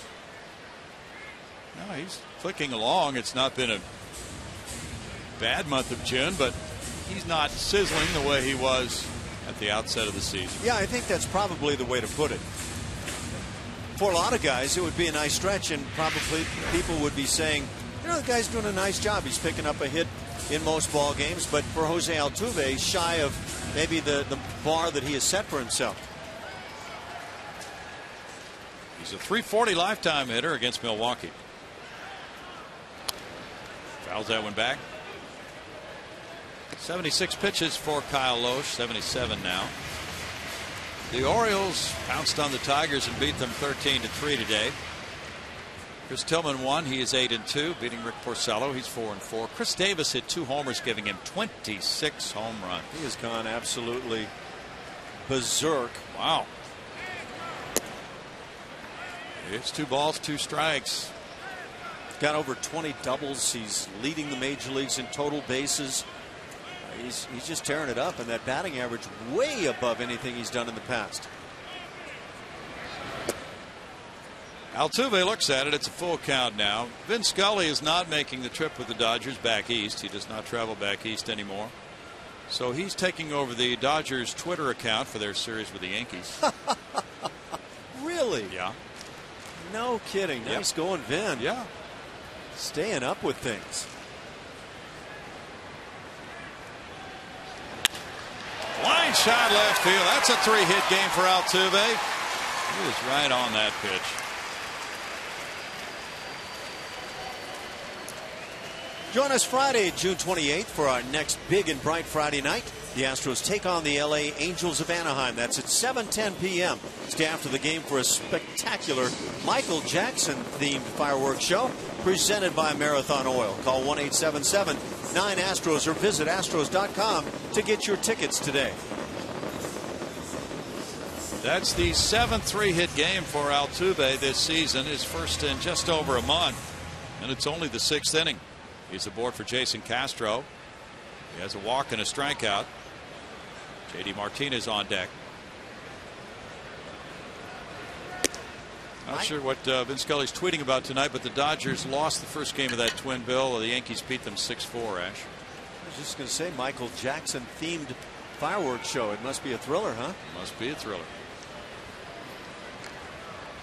Hiroki Kuroda won his seventh to lead the Pinstripers past the Dodgers. Mariano Rivera got save number 25.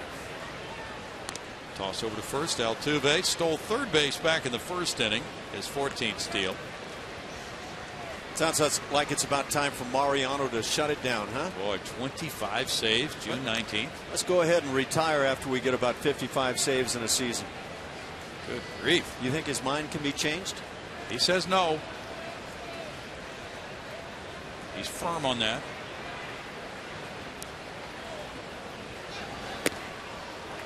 One and one. Mariners and Angels have a late night meeting. Saunders and Wilson out west. If the Yankees find their way into the postseason again with all the injuries they've had, they they're going to have to find a way to keep Mariano Mariano Rivera around. He has been really the leader to this point. How would you like to succeed him as the Yankee oh, closer? Boy, that'd be a nightmare. Altuve back to first. The surprising Padres lost to the Giants today in San Francisco 4 to 2. On a two run triple by Gregor Blanco. Ross Bumgarner, or Madison Bumgarner, won his seventh, beating Luke Gregerson. And uh, Romo got save number 18. Guzman hit another homer, number three. Did you see him on the highlights last night? I missed that. Toward the left field corner, that slicing foul and out of play. One and two. Jesus Guzman delivered a pinch homer to center field. And he was so excited that on the way up the first base line, Padres dugouts on the first base side, he kind of turned sideways. Made a face to those guys. Well, around the AL West, you see the A's are 5 and 5, but 25 and 11 since May 11th. No wins by a Texas Rangers starter this month. Longest streaks since 75. Seattle's picked up the pace. Josh Hamilton grounded into three double plays struck out twice. Other than that, it was probably a good night for Josh. I hope he played sound defense. Ooh. It's not always a guarantee of that either. Castro strikes out. Number four. That's a rough night. Three double plays and two strikeouts. Yeah, you ground into a couple of double plays and strike out on a night. You've you've had a rough one. Ooh, but those numbers. The White Sox are trailing in Minnesota. It's four to one Twins at the end of the fifth. Alejandro De Aza hit his ninth home run for the Pale Hosts. JD Martinez bats here with one out. He crushed a line drive to shortstop with both runners moving on the pitch, and that turned out to be a six unassisted double play back in the third. He could have sacrificed fly his first time up. The catcher Maldonado went out. That line drive in the third inning, thank goodness there was already an out because with the runners going, that was as many outs as you want to record on the bases. Maximum being three, and it looked like a triple play ball. They've limited that now, huh? it could be four outs in an inning. No balls, two strikes. Seen many a player who thought there were going to be four in an inning. Diamondbacks beat the Marlins three to one.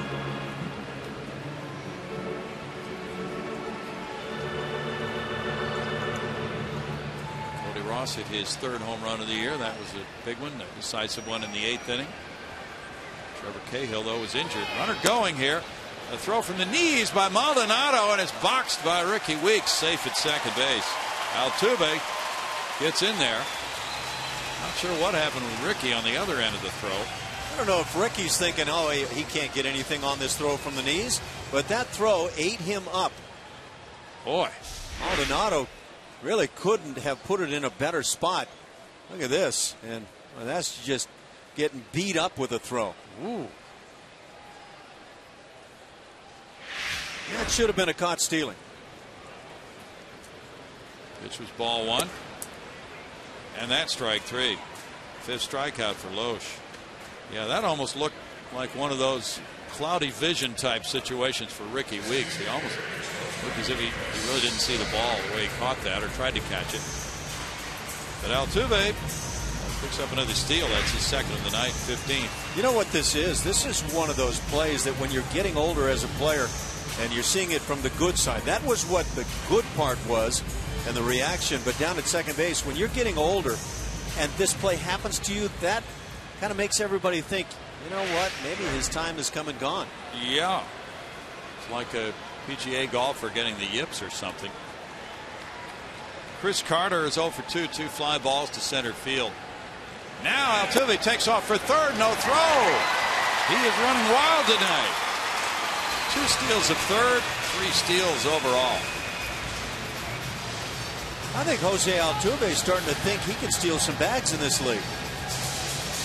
16 for the year in 20 tries. See ya right there. Good jump. A little surprised that Maldonado with that arm he just showed off didn't fire on down to third. Yeah.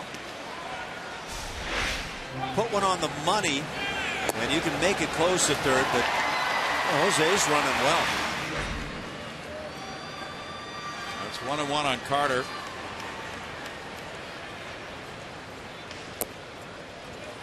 Two balls and a strike. Bullpen action. John Axford warming up. Lohse has had 91 pitches.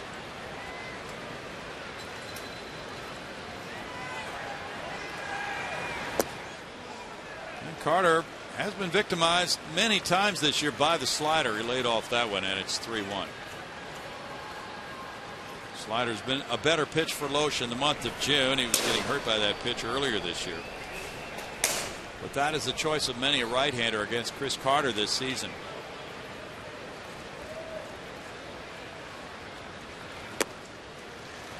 And Carter takes the walk. His 30th walk of the season.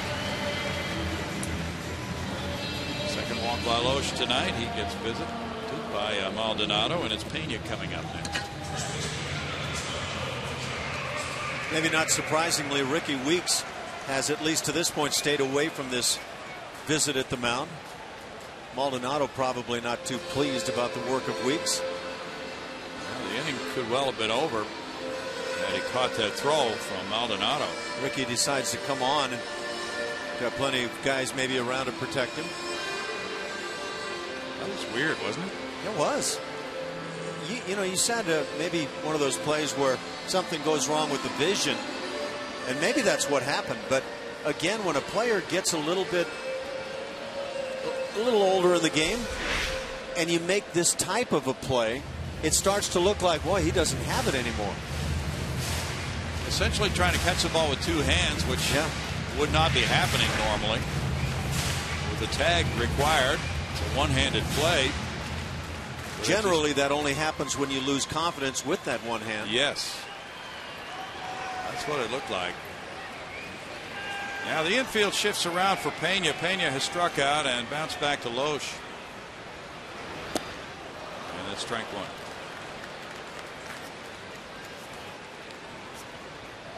Well, of course, if that happens to a player in the American League, there are fielding issues, he could always DH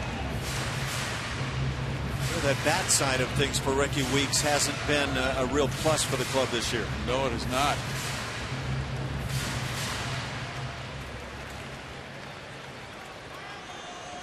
Weeks is out in right field now. Justin Maxwell on deck.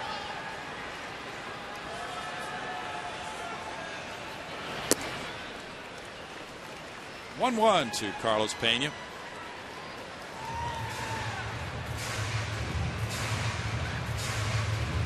Cubs and Cardinals are tied 1 1 after five in St. Louis. Rangers lead the Athletics 4 to 3. They're in the top of the sixth in Texas. Lance Berkman hit his sixth homer.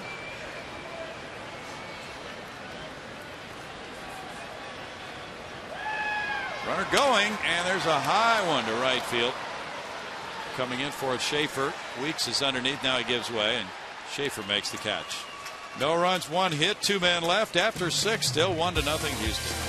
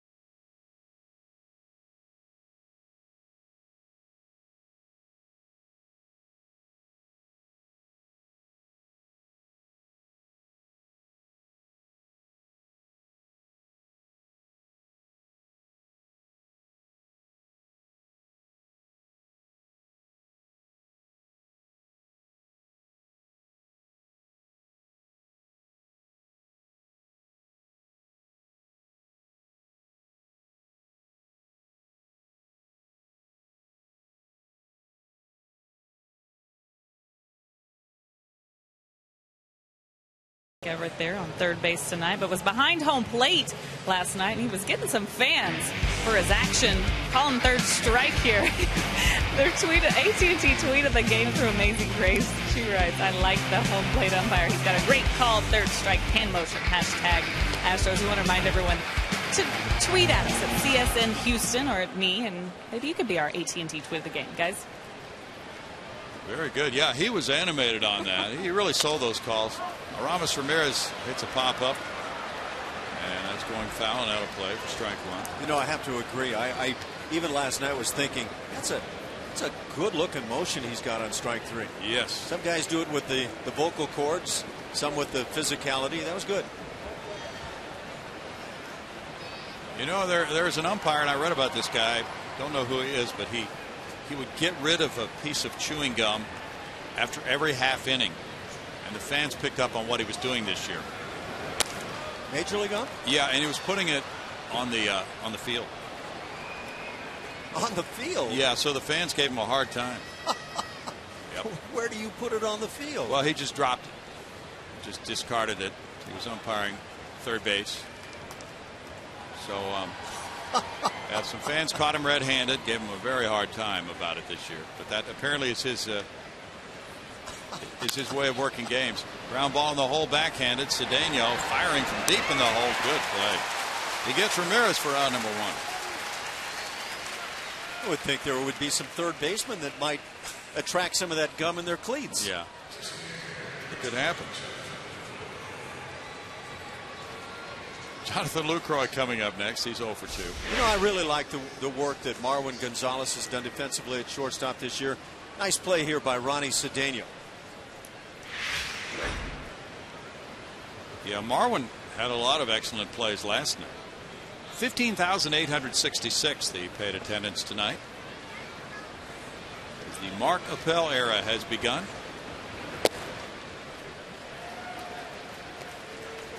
Strike to Lucroy. Yeah, this last play by Ronnie Cedeno certainly would not be in that category of routine, and yet he made it nice and routine by planting that right foot, using the good strong arm.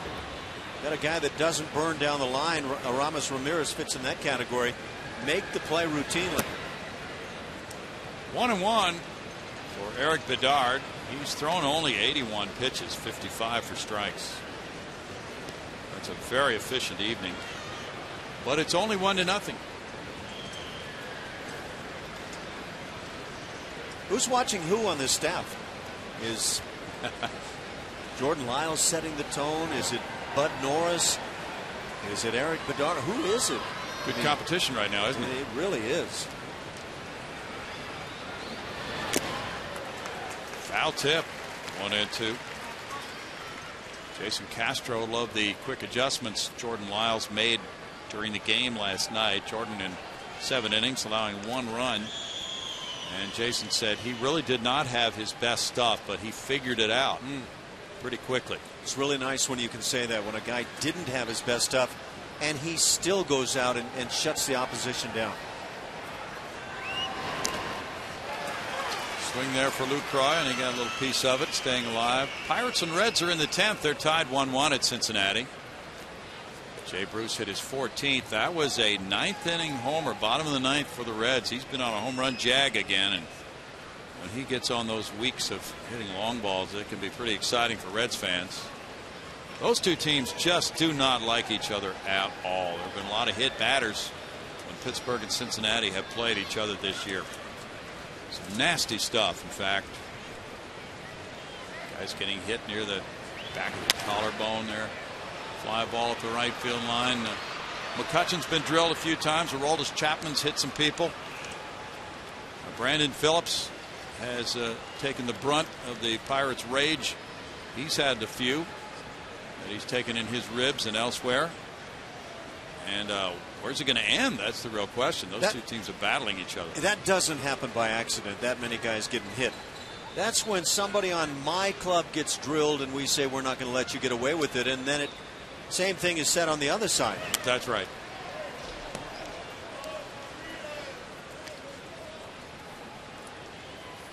Still one ball and two strikes. Uh, Dusty Baker, in fact, has had to answer some questions throughout this season about a lot of hit batters from the Reds pitching staff. Wonder if he removed the toothpick in, in uh, responding. When Dusty gets a little angry, that toothpick will come out. Yeah. Not until then. Looping fly ball into left center field will go in for a hit. JD Martinez over to pick it up. And Lucroy has a one out single.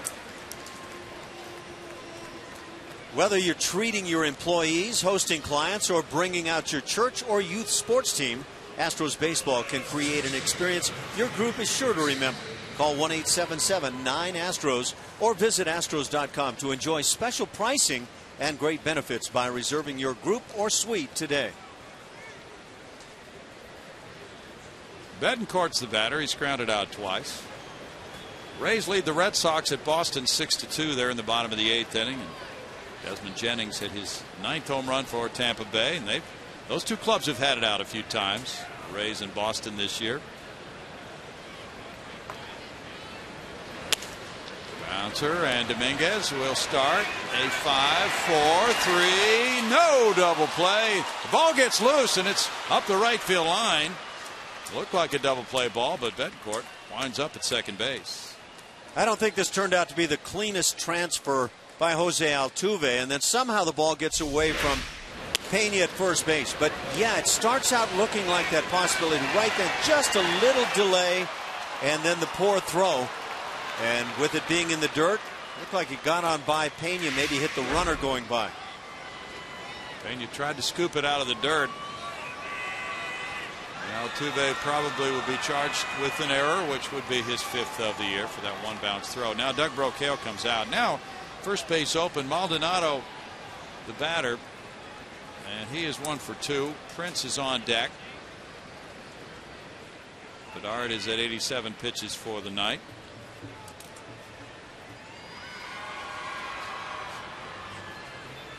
One of those intriguing meetings at the mound you can come out and you can say, look, you should be out of this inning already. But that might not be the, the message that a guy needs now to make sure you go out and get that one more out before a run comes across. Very good ball game for Erik Bedard, but the potential tying runs at second base with two outs in a one nothing game. Maldonado singled to center in the third inning. He struck out in the fifth.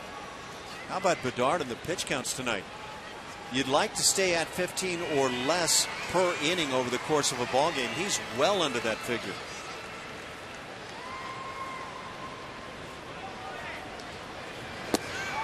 And he throws strike one. Blue Jays remain in flight. They beat the Rockies tonight, five to two. Jose Cisnero warming up. Well, that Toronto bunch is torrid.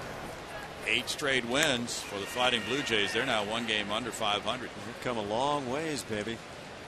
Yeah, Blue Jays are in flight. That is the call for their first run on any given ball game. They got three in the first. So that call went out early tonight. No balls, two strikes, and beneficiary Mark Buehrle squared his record at four and four, beating Juan Nicasio of the Rockies. Casey Janssen got his 16th save, and Cargo hit his 21st for Colorado, but he might be kind of the lone ranger in that batting lineup now. Oh, that's a heck of a year being had with Tulo out of there. It really is.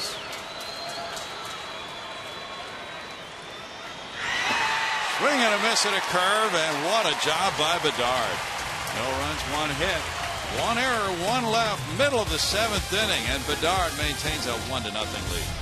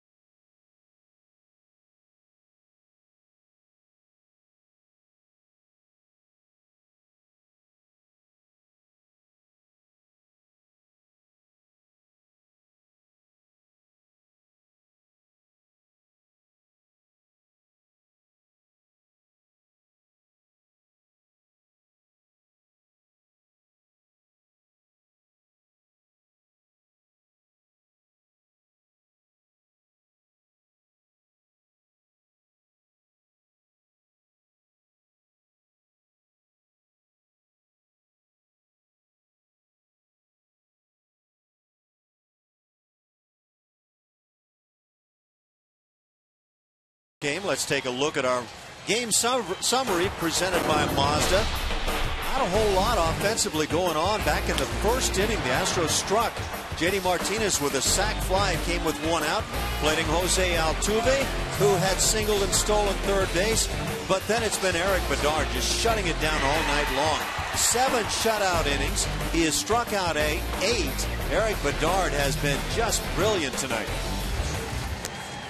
1 0 Astros as the fans take their seventh inning stretch, and they're watching reliever John Axford, the former closer of the Brewers, warm up.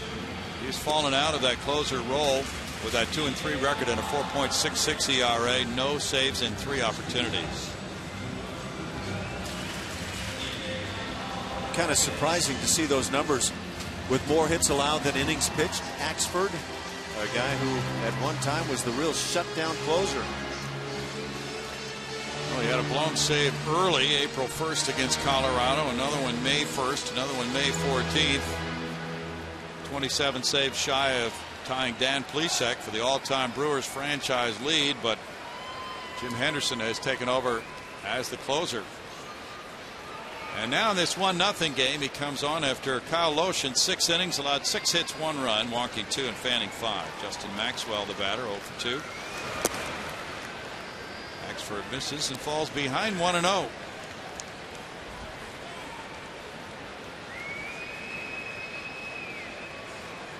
Braves lead the Mets 5 to 3. They're in the top of the ninth inning now. Chris Johnson hit his fourth homer.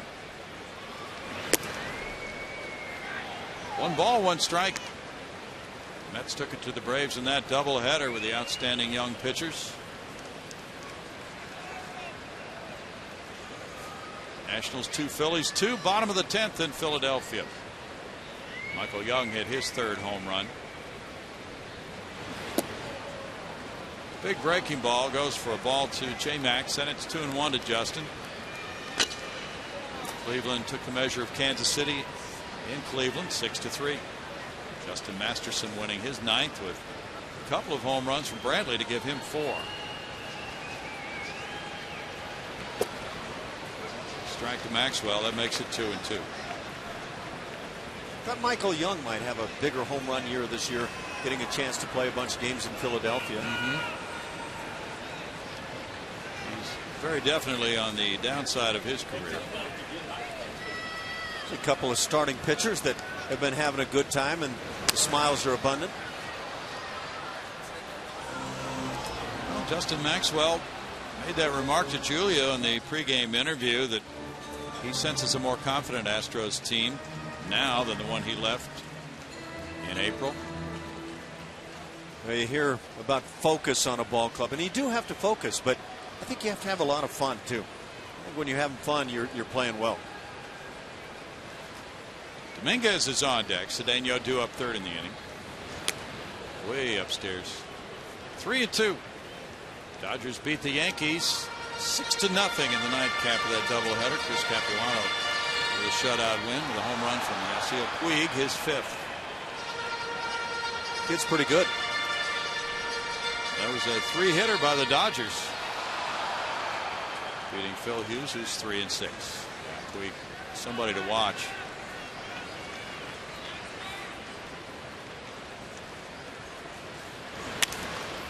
In the air behind the dish and out of play.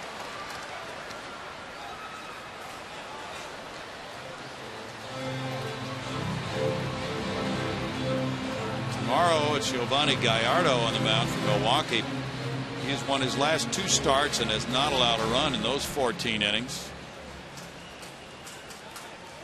He's 13 and 3 with a 2.87 career ERA against the Astros in 16 starts.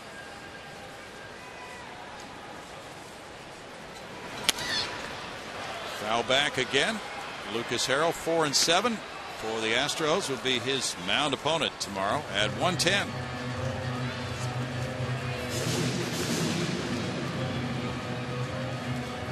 Lucas will be trying to beat the Brewers for the first time. He is 0 1 in his career against them.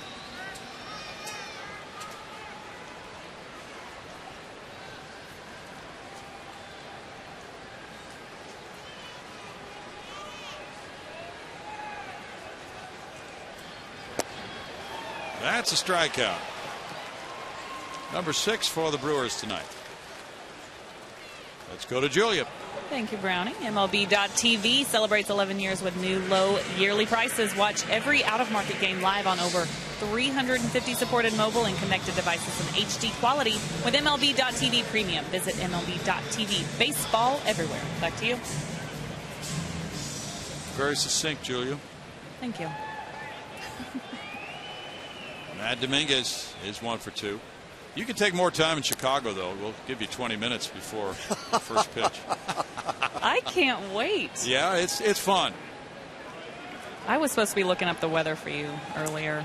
I know That's there's a chance of rain. We know it's going to be warm with a chance of rain every day. Chance of day games, I think, three times. Yeah. Wind blowing in off the lake. Ooh, you think this time of year? Well, I'm just kidding. Actually, one and one.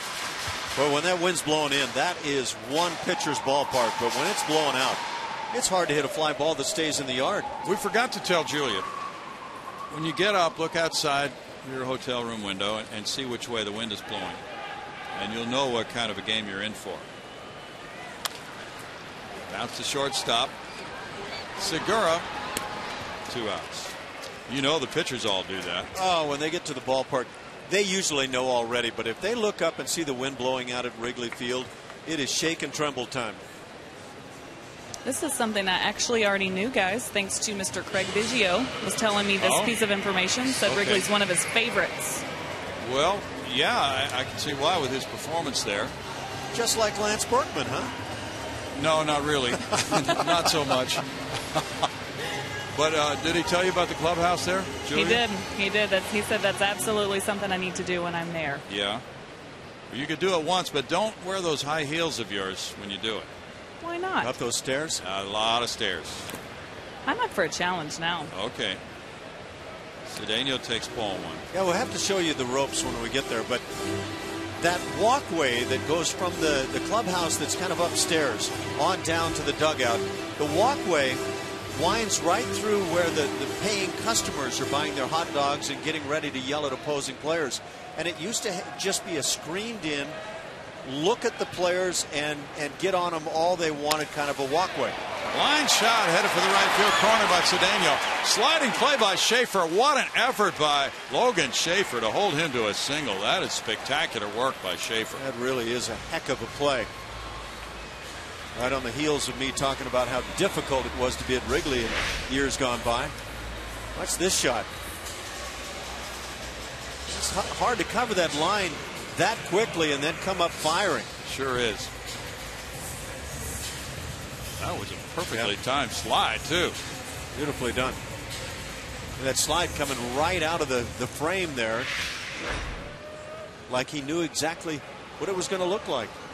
Do not practice that in your backyard, kids. Certainly not in the house. Brandon Barnes with strike one. He's one for three. Yeah, that used to be quite a challenge going from that clubhouse to the dugout or vice versa, whatever the case may be. It certainly cut down on clubhouse visits by the players during the ball game back in the day, but they have put tarps up, at least in years that I've seen since.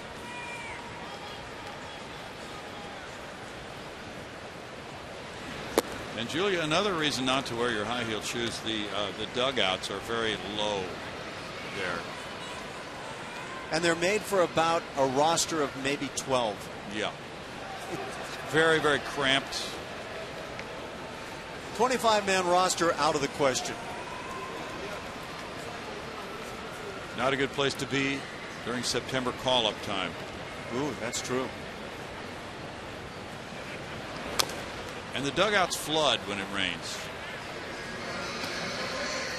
Any other reason you can provide to want to go to Chicago's Wrigley Field? Um, well, the hot dogs are good. I'd have to check you out on that one. You know, it's going to be old fashioned Wrigley Field. No lights. Just three day games. Three day games. Well, the lights will be there, but they won't be on.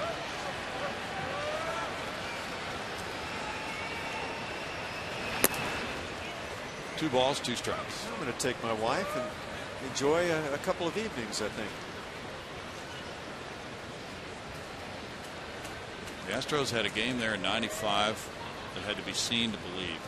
Uh, to be believed. They were in the uh, race for a playoff spot with the Rockies. They wound up losing out to the Rockies on the final day of the season. Barnes strikes out. That ends the seventh inning with no runs, a hit, and a man left, and we move to the eighth, one to nothing Astros.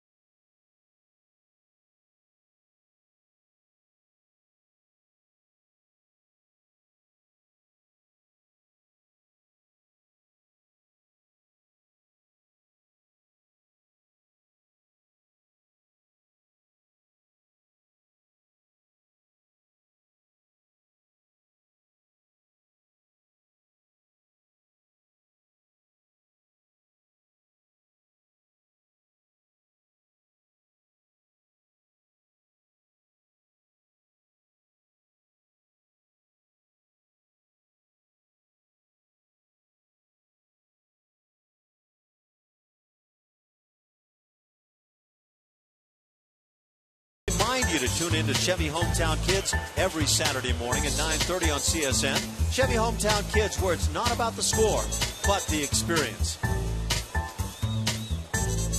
Pretty nice experiences being had this evening. Erik Bedard leads it one to nothing. We go to the eighth inning. Josh Prince is the first man up. He's bounced into a double play and hit a fly ball to right field. Hector Ambriz is working in the bullpen for Houston. That's strike one on a curveball from Bedard, and in the Milwaukee bullpen, their closer Jim Henderson is up. Last 22 games, Astros starters have won 10. They've lost six with a 2.54 ERA. That's the lowest ERA for any starting staff in the majors since May 27. No balls, two strikes. Series against the White Sox, very well pitched. Astros behind Bedard. Won the first game two to one, beating Sale. And they won four to three behind Lucas Harrell. And they won five to four behind Dallas Keuchel. In the dirt, and it's one and two to Prince.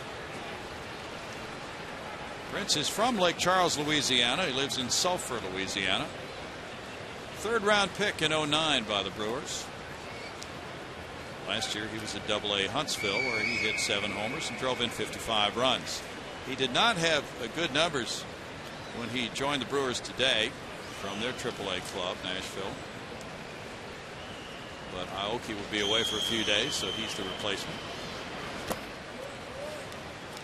Two balls, two strikes, and with a left-hander on the mound. I always talk about changeups and arm speed. That last pitch by Bedard appeared to be the changeup, and he really slowed his arm speed down on this one. That's uh, something that'll take the effectiveness of that pitch away. He's thrown 94 pitches. Last seven starts before this one, Bedard's ERA was 3.40.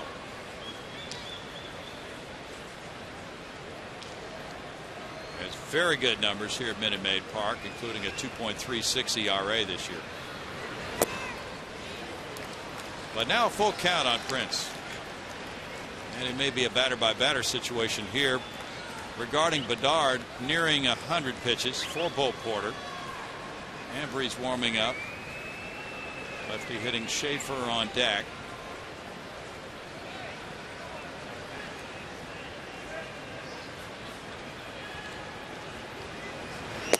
Prince takes and it's ball four. Leadoff walk.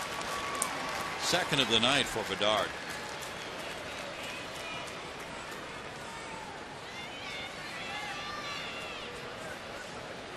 Prince is a good base runner. He had 41 stolen bases at Double A Huntsville last year. At 147 in four minor league seasons.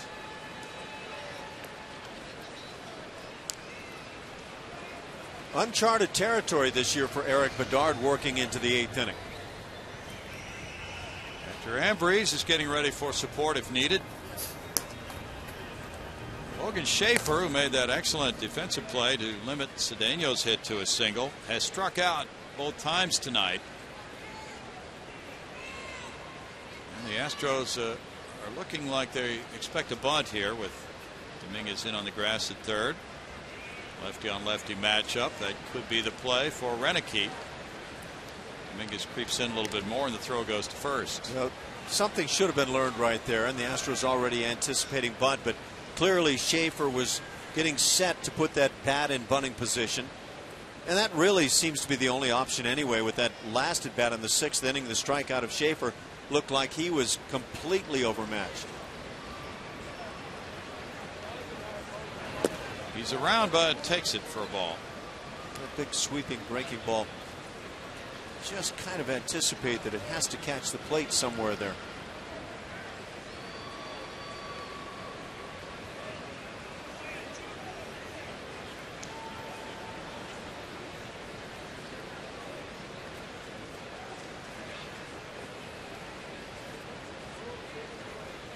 Pena now leaves first, and the bunt is put down. Bedard will look at second and then throw to Altuve at first in time for the sacrifice from one to four on Schafer. But for a fortunately timed step by Altuve, that could have been a mess. Could have. And Bedard looked at second and might have had a play in that direction. He might have, but by the time he took that look and he went back to first, he had no room for any mistakes. Ball fairly sharply bunted. Now Bo Porter's coming out with the right-handed hitting Weeks and then Segura to follow. That's going to be it for Erik Bedard. Wonderful night for Erik Bedard. Seven and a third innings. And he leaves with a 1 nothing lead, and the runner at second is his. He cannot lose it. But if he wins, it's going to be number three of the year, and he will, have really earned it. We'll be right back with a score 1 nothing Houston.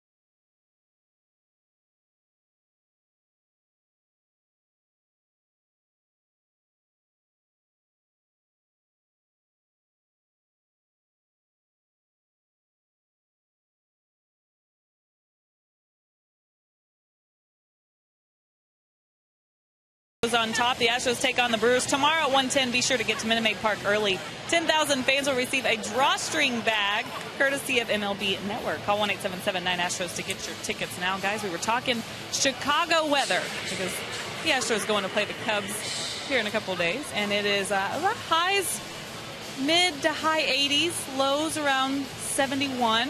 30% chance of rain all three days. Of course, those are day games there in Chicago. Hopefully it doesn't rain on my Chicago parade, guys. Oh, no, we can't have that. Thanks, Julia, for the update. Hector Ambriz will come in with a runner at second, one out here in the eighth inning, leading 1 0 with a 1 and 3 record and a 4.76 ERA. Left hand hitters torn him up pretty well. 409. Overall, 310. Love to keep him against the righties. And that is the plan with Weeks, the batter, and then Segura on deck. Gomez, Ramirez, all bat right. Lucroy, Betancourt. Got a right-handed hitting lineup in there. Weeks single to right center in the sixth inning. He's one for three.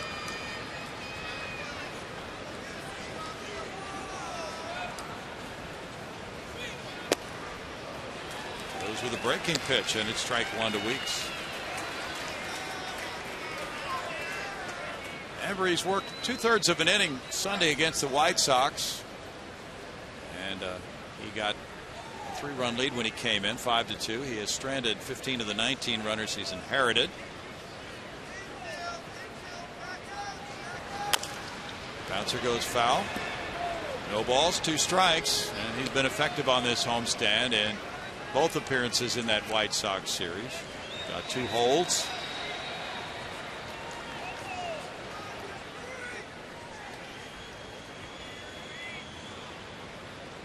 12 of Ambriz' last 13 outings, he's not given up an earned run or a walk. Seven hits for Houston, four for Milwaukee. All the hits in the game have been singles.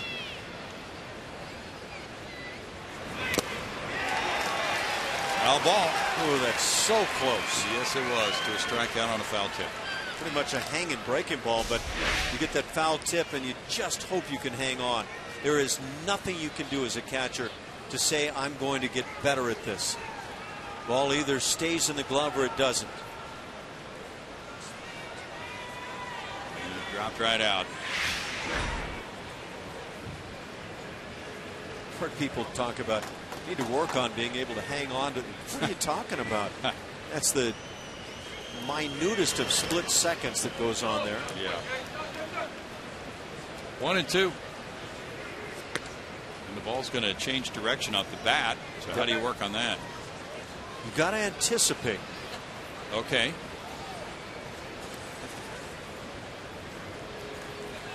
It's a guessing game that only the finest win at. Okay. Now Castro goes out to talk with Ambriz.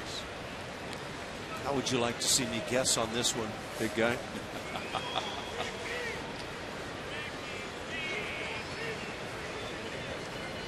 Yeah, you get the game this deep, one nothing. You get that foul tip. Oh, how you'd love to hang on to that one.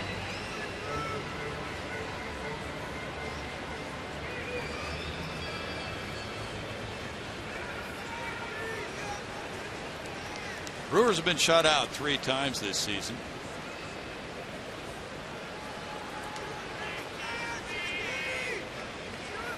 Last year, they led the National League in runs scored with 776. They bombed away with 202 homers. That also led the NL.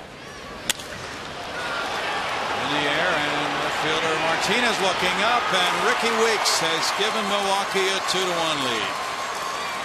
Home run number six for Weeks, giving him 15 runs batted in. And the Brewers are up by one.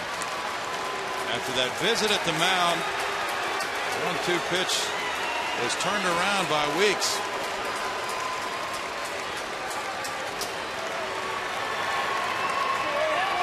Well, there's one of those pitching moves that doesn't pay off. Rickie Weeks takes advantage of one more swing as that foul tip comes out of the glove. Gets another breaking ball, and I called the other one a hanger. This one was the very same. Jean Segura is the batter. He's one for three. Strike one for Ambriz. Erik Bedard in seven and a third innings allows four hits, one run, walking two, fanning eight. And gets a no decision. Ambriz fields it. Goes to Pena. Two down. Oh, that's a tough one for Bedard. Yeah, he winds up with an earned run on his slate. And he won't say a word about it, but it'll hurt. Carlos Gomez is 0 for 2 with a walk.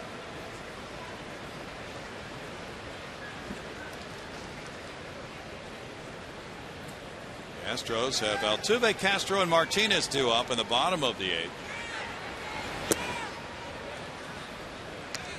That's ball one. Kyle Lohse now off the hook after six innings of six hit one run baseball, walking two, fanning five.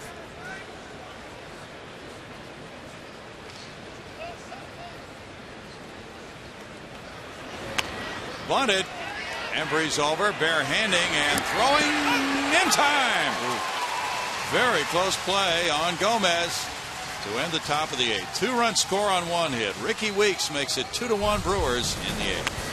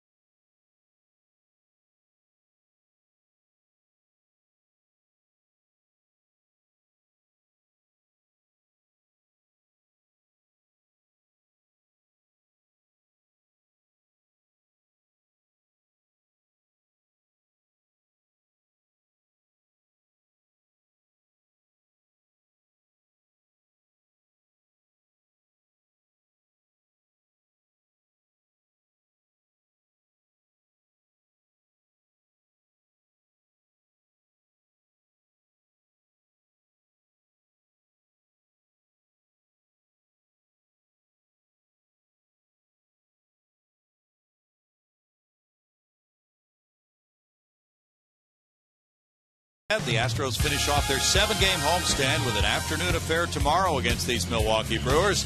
Astros pregame live starts tomorrow at 12:30 p.m. only on Comcast Sports Net. Let's take a look at tomorrow's pitching matchup brought to you by Chevron. Care for your car. It'll be Yovani Gallardo, ace of the staff for the Brewers, six and six on the year, 441 the earning. Uh, against Lucas Harrell, five and seven, 448. One and two on the month with a 1.74 ERA. Lucas Harrell trying to tighten up his game. Now Ron Roenicke is going with his closer here, Jim Henderson, for the bottom of the eighth with the one-run lead. He's two and two with a 1.59 ERA. He's nine for 10 in saves, and he's given up 15 hits in 22 and two-thirds innings. He's been beating everybody up. Overall, 183 the batting average against right-hand hitters, just 149. Tough assignment now. Jose Altuve is three for three. The Astros are warming up their closer, Jose Veras. Castro and Martinez to follow in the Astros eighth. Third baseman Ramirez even with the bag. And that one is nowhere close.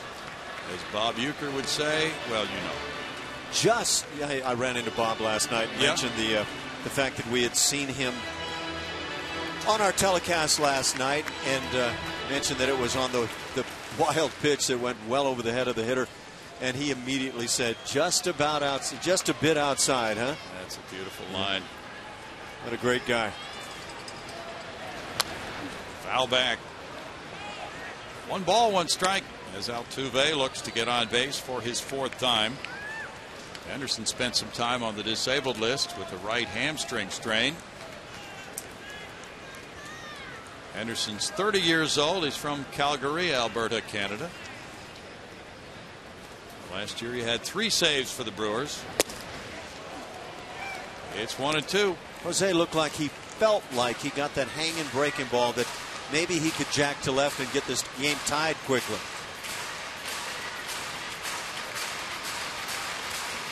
The Brewers have Francisco Rodriguez out there with close to 300 career saves. It's two balls, two strikes. So in this game, Henderson might be the setup man for K Rod. K Rod's four for four in saves this year for the Brewers. As a team, they have 14 saves and 23 opportunities.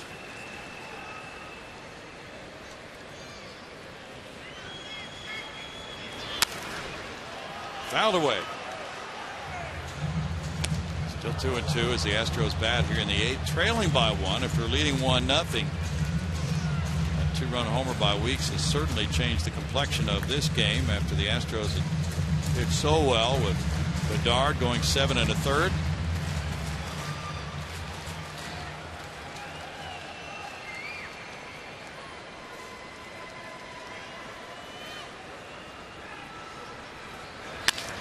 Altuve rounds. Ramirez backs up, throws from deep, and gets him.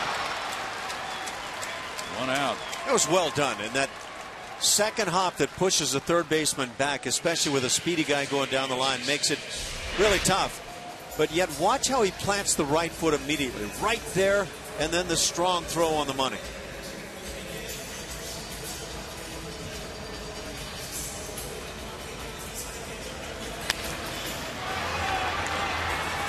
You got to do it right if you're going to make that play.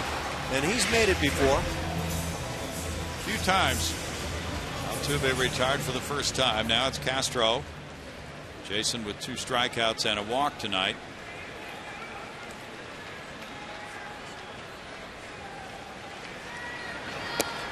That cuts inside on him, and it's ball one.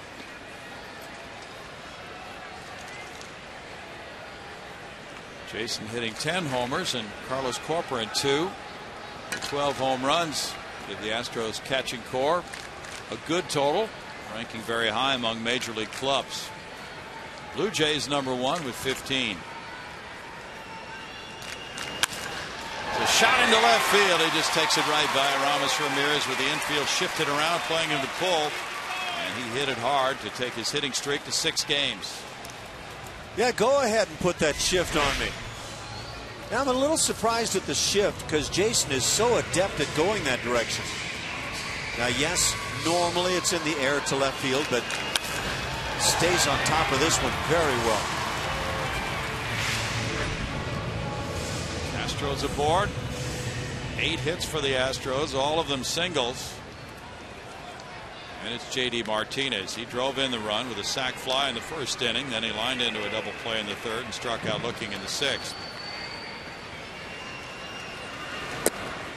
He moves back and it's ball one. Chris Carter's on deck.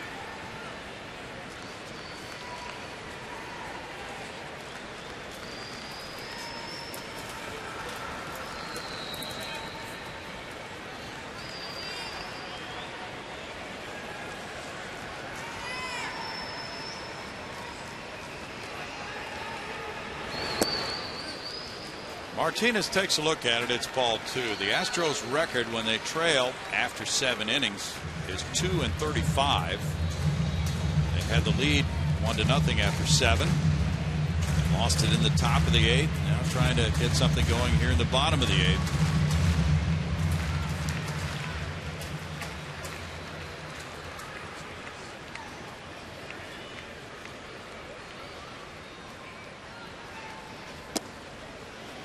Ball three to J.D. Martinez. Henderson was drafted by Montreal in 03, and he joined Milwaukee as a free agent in 09. Last year he had big strikeout numbers, 45 in 30 innings at the major league level, and 15 saves in AAA Nashville.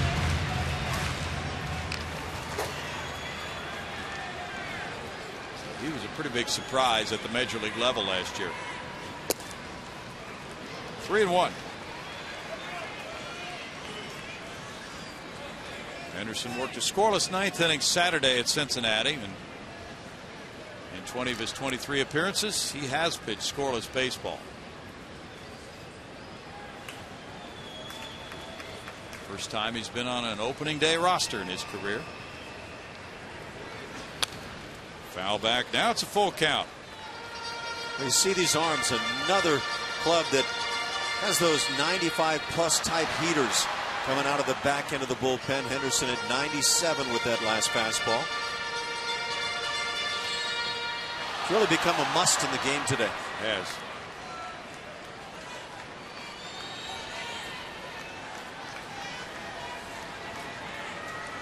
Three-two count with Castro taking his lead. Betancourt playing step off the bag.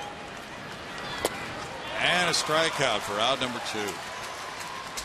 Well, he had quite a comeback, falling behind 3-0.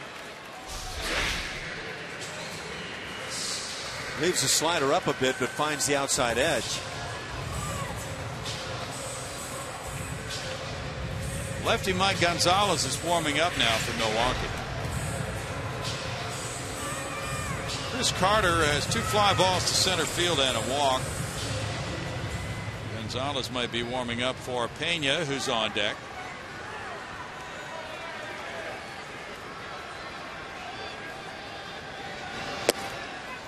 Outside for ball one to Carter. a lot of major league appearances in his career, local product. He's up to see Carlos Pena in the event that it gets that far. Mm -hmm.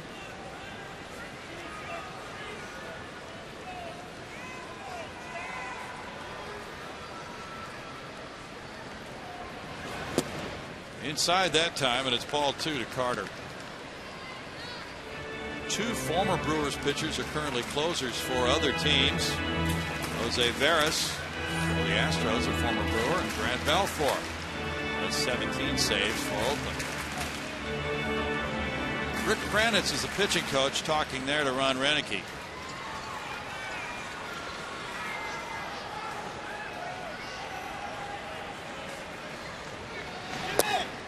Strike makes it 2 1.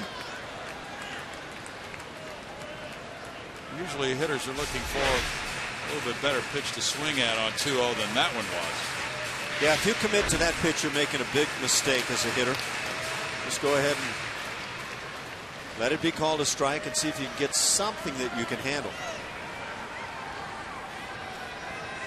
Runner going. Here's the throw, and Weeks with the tag on Castro, and they got him.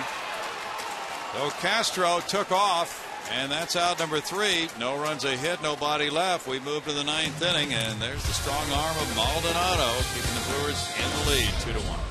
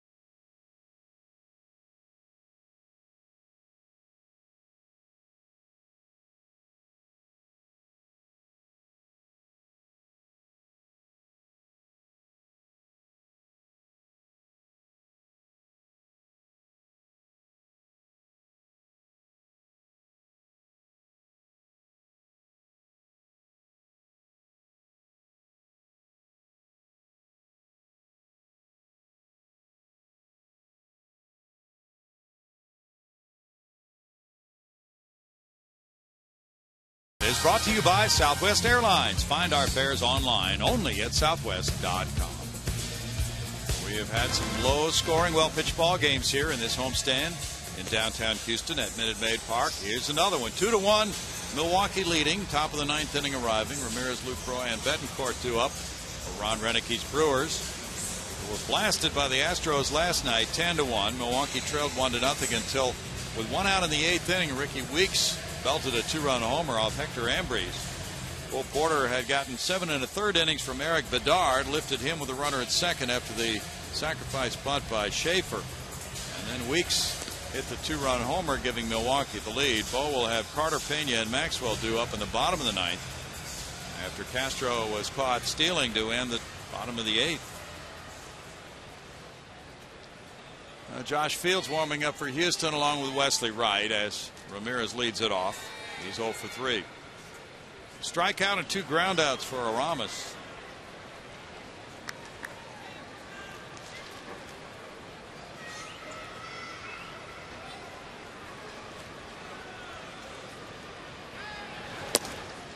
There's ball one from Ambriz, who surrendered the homer to Weeks, and that was the 41st home run allowed by the Astros bullpen this season, and that is high in the American League.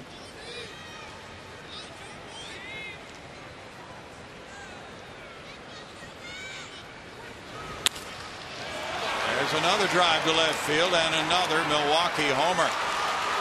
Ramirez with number four makes it three to one Brewers.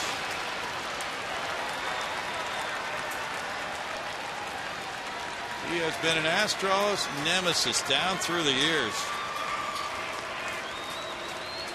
43 career homers for Ramirez against Houston pitching. Well, a game like this, all the tougher when you've got that great starting pitching on the night. Erik Bedard certainly pitched well enough to win. 18 runs batted in for Ramirez. See him just sit on that breaking ball.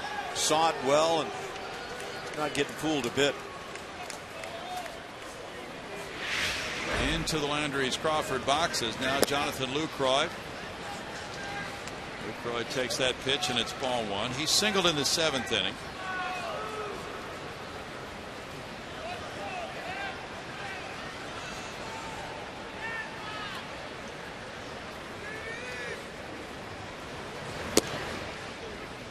Strike evens the count at one and one. The Brewers now have hit 67 home runs. They're in the middle of the pack in the National League. Wesley Wright, Josh Fields, as we mentioned, are warming up.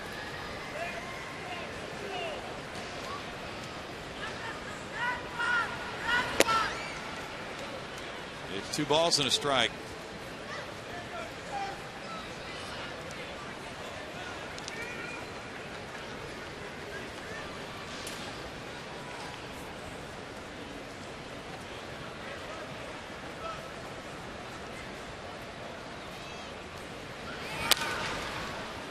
Fouled away. Two balls, two strikes now to Jonathan Lucroy.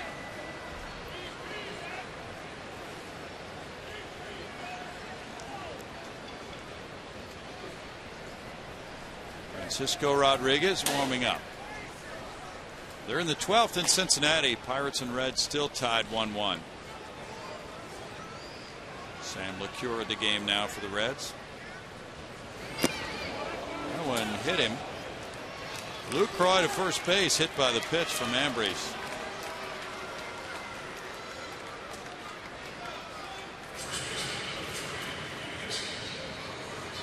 First hit batsman by Ambriz this year. Doug Brocail to the phone. And now Bo Porter's out to the mound with Betancourt two up next.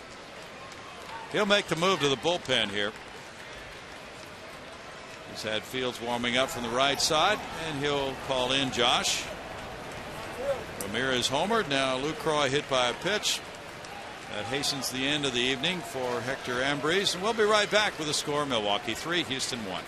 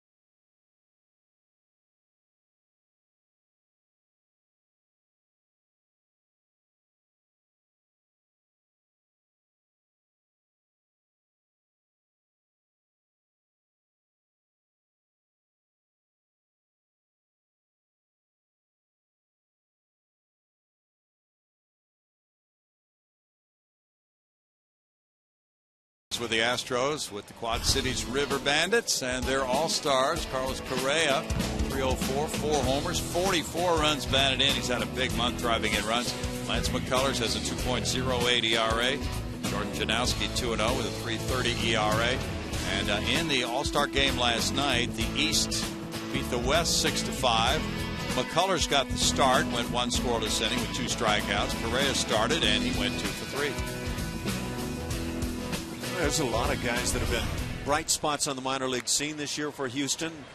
Obviously, they have had winning ball clubs on the minor league level, but great to see Carlos Correa coming along so nicely with the bat. I haven't heard a lot about his defense.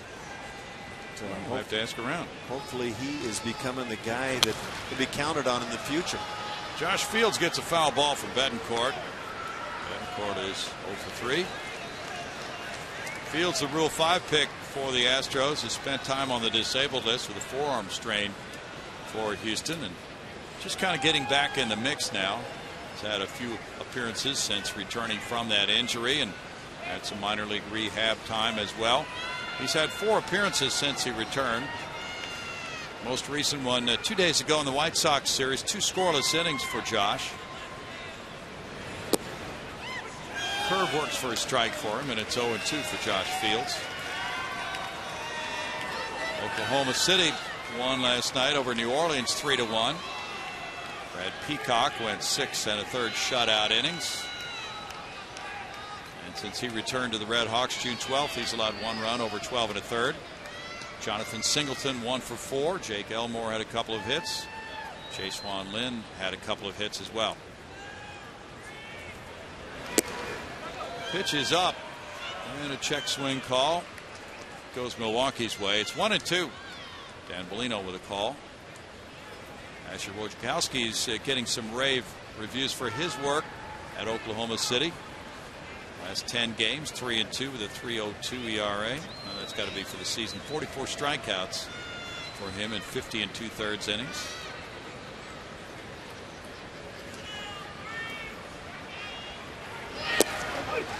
Strikeout looking, Betancourt retired one out.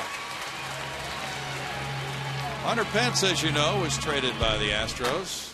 It was a part of the rebuilding situation to the Phillies in 2011. Jonathan Singleton, Jared Cosart, Domingo Santana, and Josh Zeid all came in that deal, and that's what they're doing. I wonder how the Phillies feel about that deal right about now.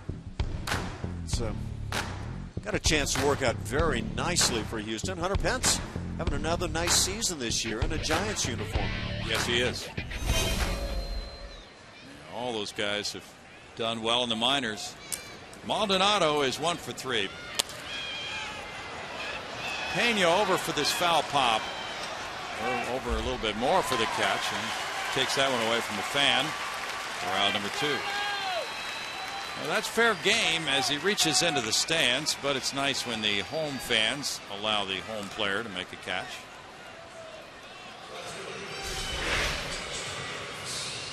Not a whole lot of foul territory here.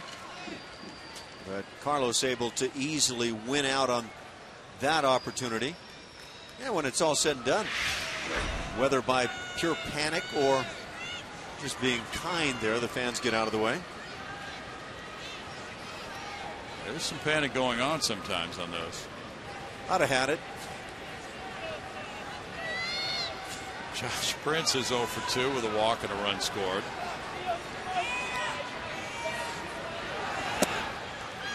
Strike for Josh Fields, the former closer at the University of Georgia.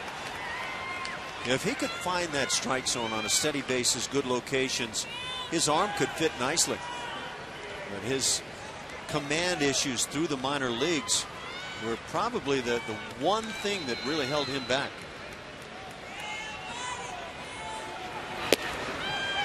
Strike, and it's 0 2. The Astros scouted him uh, this winter, and they liked what they saw as far as those command situations with Josh Fields, so they took him in the Rule 5 draft in early December.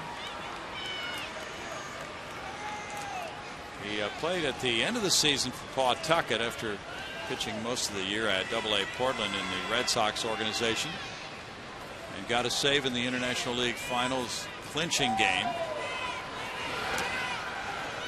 Bounces that one there, and it's one and two for Fields. Brandon Kintzler is getting loose for Milwaukee. George Springer had a nice game for Corpus Christi last night. The Hooks lost 8 to 4 to San Antonio, but Springer went 3 for 4 with a double and stole two bases. That should give him about 20 steals for the year. We'll check on his statistical line for the Hooks. He was at 18 homers and 18 steals a few days ago. Strike three. And Fields gets three in a row. Ramirez homers, and Milwaukee leads at 3 to 1 as Carlos Pena comes up to bat second in the bottom of the ninth.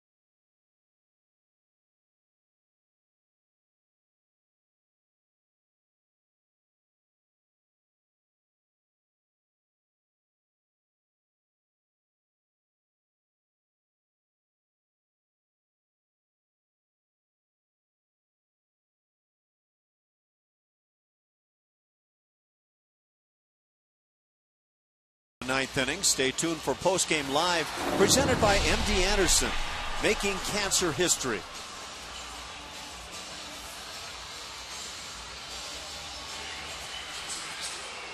Well, K Rod is the closer tonight. Francisco Rodriguez, he's four for four for the Brewers this season.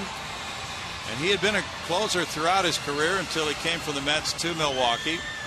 A 1 0 record this year, a 0.73 ERA. He's done some closing for the Brewers, but has slipped back into that setup role more often than not since joining Milwaukee. Five consecutive scoreless outings for the hard throwing right hander. For the opposition hitters enjoying a 128 feast against him. Wow. That is impressive stuff. He's making a resurgence.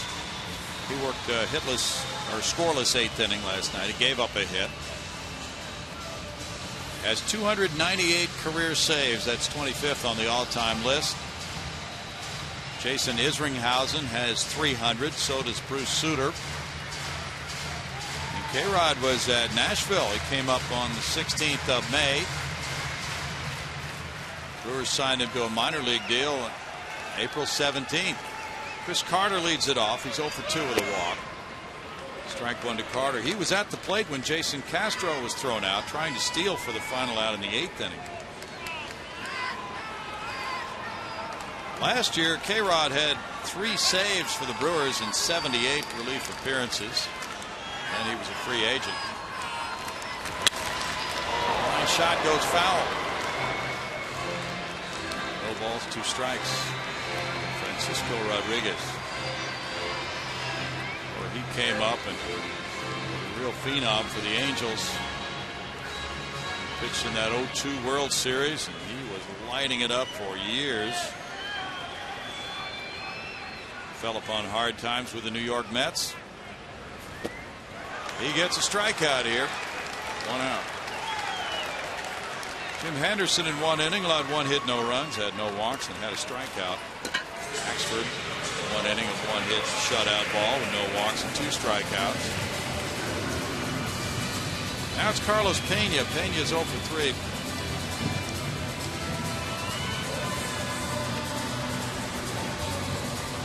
Justin Maxwell's on deck. checked on the stats of George Springer at Double A Corpus Christi. George is hitting 303, 18 homers, 52 runs batted in, 21 steals, and 26 attempts. He has 20 doubles now. Very good all around year for George Springer. There's ball one. Coming into tonight, he had struck out 89 times and 254 at bats, so that would be the area the Astros hope would improve for George Springer. What kind of excitement might he bring along with him if he showed up on the scene? He might bring quite a bit. He's a very athletic guy. You saw him in spring yep. training. What did you think? I loved him. That first 10 to 14 days of the spring, I thought he was the most impressive player in camp. He started to struggle a little bit at that point, but everybody is going to. I don't care if you're young or veteran. Uh, everybody, when a guy that's young starts to struggle, will say, "Well, he, you know, he's just uh, a youngster, and that's the reason for the struggles." Reason for the struggle is it's a tough game. Line shot right field. Man, that was cracked off the bat of Pena. He'll only get a single on it because of the way Milwaukee played him, but that was a rocket after that three-run homer he hit last night, and then that swing of the bat. Carlos has been on some balls lately. I bet you Carlos would tell you he hit this ball every bit as hard as the home run last night. Yep. This swing. That's everything in it. He's a back foot, fall back kind of a hitter. But when he gets it on the sweet spot of the bat, he can drive it with anybody. That's nine hits for the Astros, all of them singles. Now Maxwell the batter. In the dirt ball one. J Maxwell oh for 3 tonight. Matt Dominguez is on deck could get pretty interesting if Matt comes to the plate with a couple of men on or a couple of runs in.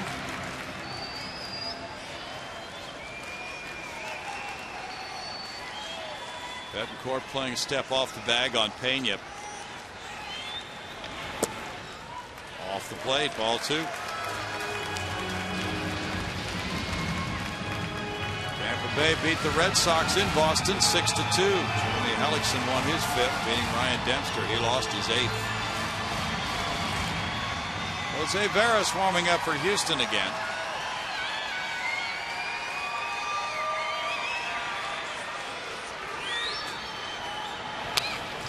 Foul back. It's where you tell a guy like Veras, the closer, just get it loose. Don't get all the way there. Just get it loose, and then you take your read of the ball game. If it looks like the opportunity might arise, then line it up.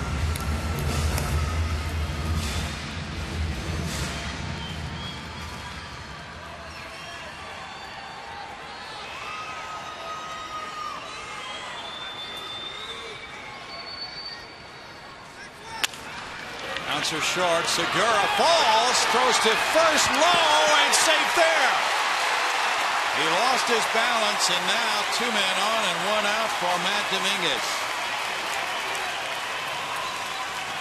Yeah, the skates just simply went out for Segura, and a big break for the Astros. It Wasn't likely going to be a double play, but certainly should have gotten the lead out at second. Hit number 10 for the Astros. Maxwell's one for four now. We go to Julia Morales. Thanks, Brownie. Hitting coach John Mallee was just talking about Matt Dominguez today with runners in scoring position. He said he's really impressed with what, when, how he handles those situations. He's actually batting 310 with runners in scoring position and with bases loaded. He's slugging a thousand after that first career grand slam last night. Uh, two men aboard, and he's one for three tonight. One out.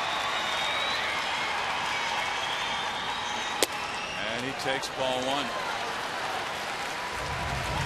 Ani Cedeno's on deck.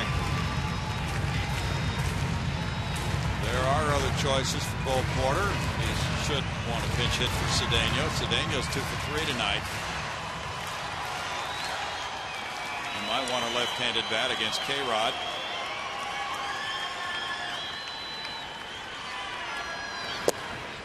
In for a strike, and it's one and one to Dominguez.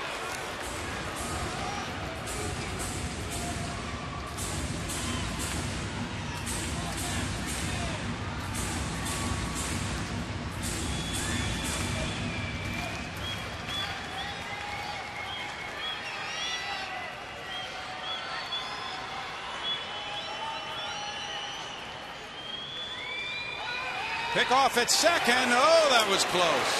Oh, oh. Pena barely got back in on the throw to Rickie Weeks. Thought the Astros caught a break back in the eighth inning. Carlos Gomez tried to drop down a bunt for a base hit. He was called out at first base. This was very close and a good call when it's all said and done. Looks like Maxwell, or Pena rather, just does get that hand back in. Really close. Quick tag by Weeks. Foul back and it's one and two. You know, Weeks has made that one. He almost got Pena diving back in. Then they made the quick tag on Castro trying to steal in the eighth inning after muffing that throw to second on Altuve's steal in the sixth. So it would have been kind of a weird yeah. Situation there for Rickie Weeks. It has at that. And on that stolen base attempt by Castro, I thought it was an exceptional tag by Rickie Weeks as he just snapped the glove right down, didn't reach at all. When you reach, player starts gaining that, that momentum at the bag, gets the foot in early or the hand as it as the case may be. But with that tag going straight down, that's when you get the chance to get a guy. Breaking pitch. Dominguez tried to check, and he did. On field to Bellino. That was, that was close as well. Yeah, it was. You see how close. A great job by Matt. Good, strong hands and wrists.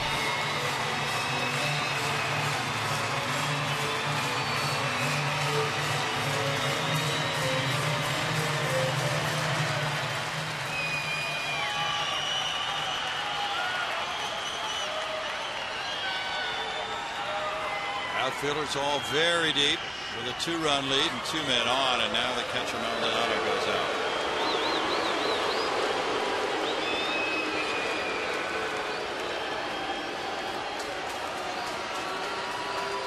Pirates and Reds are still 1-1. They're in the top of the 13th now. Rangers lead the Athletics 9 to 4. They're moving to the ninth soon.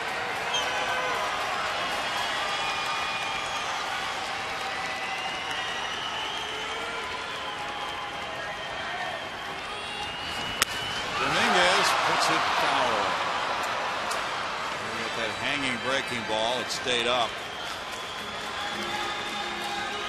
Some guys appear to be ready for that big moment to try to help a team win a game. Look at this swing. Yeah, he got out early and pulled it foul, but he was ready when he saw a breaking ball left up to see if he could jump on one, become the big man of the night.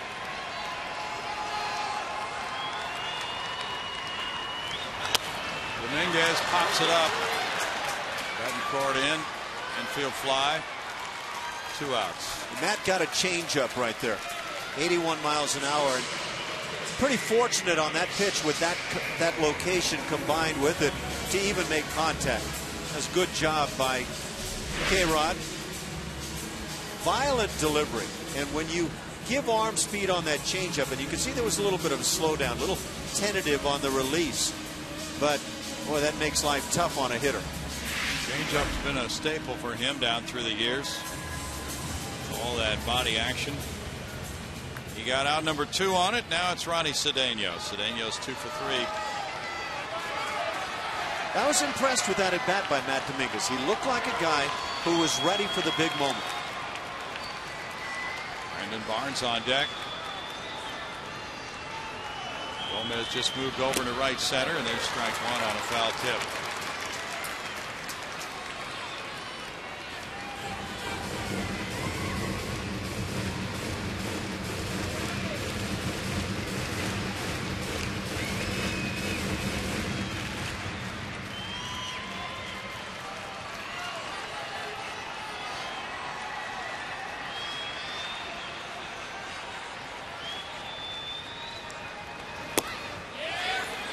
Ball, one strike. No. Oh, Bellino brings it up as a strike. Make it 0 and 2.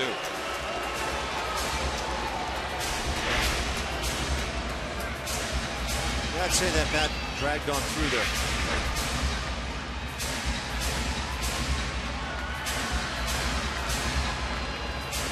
Maldonado pays another visit to the mound.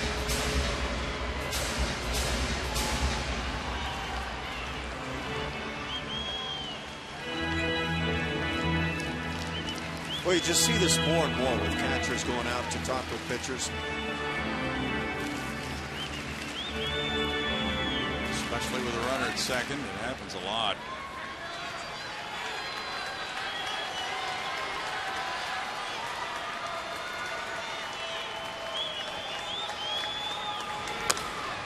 Foul ball.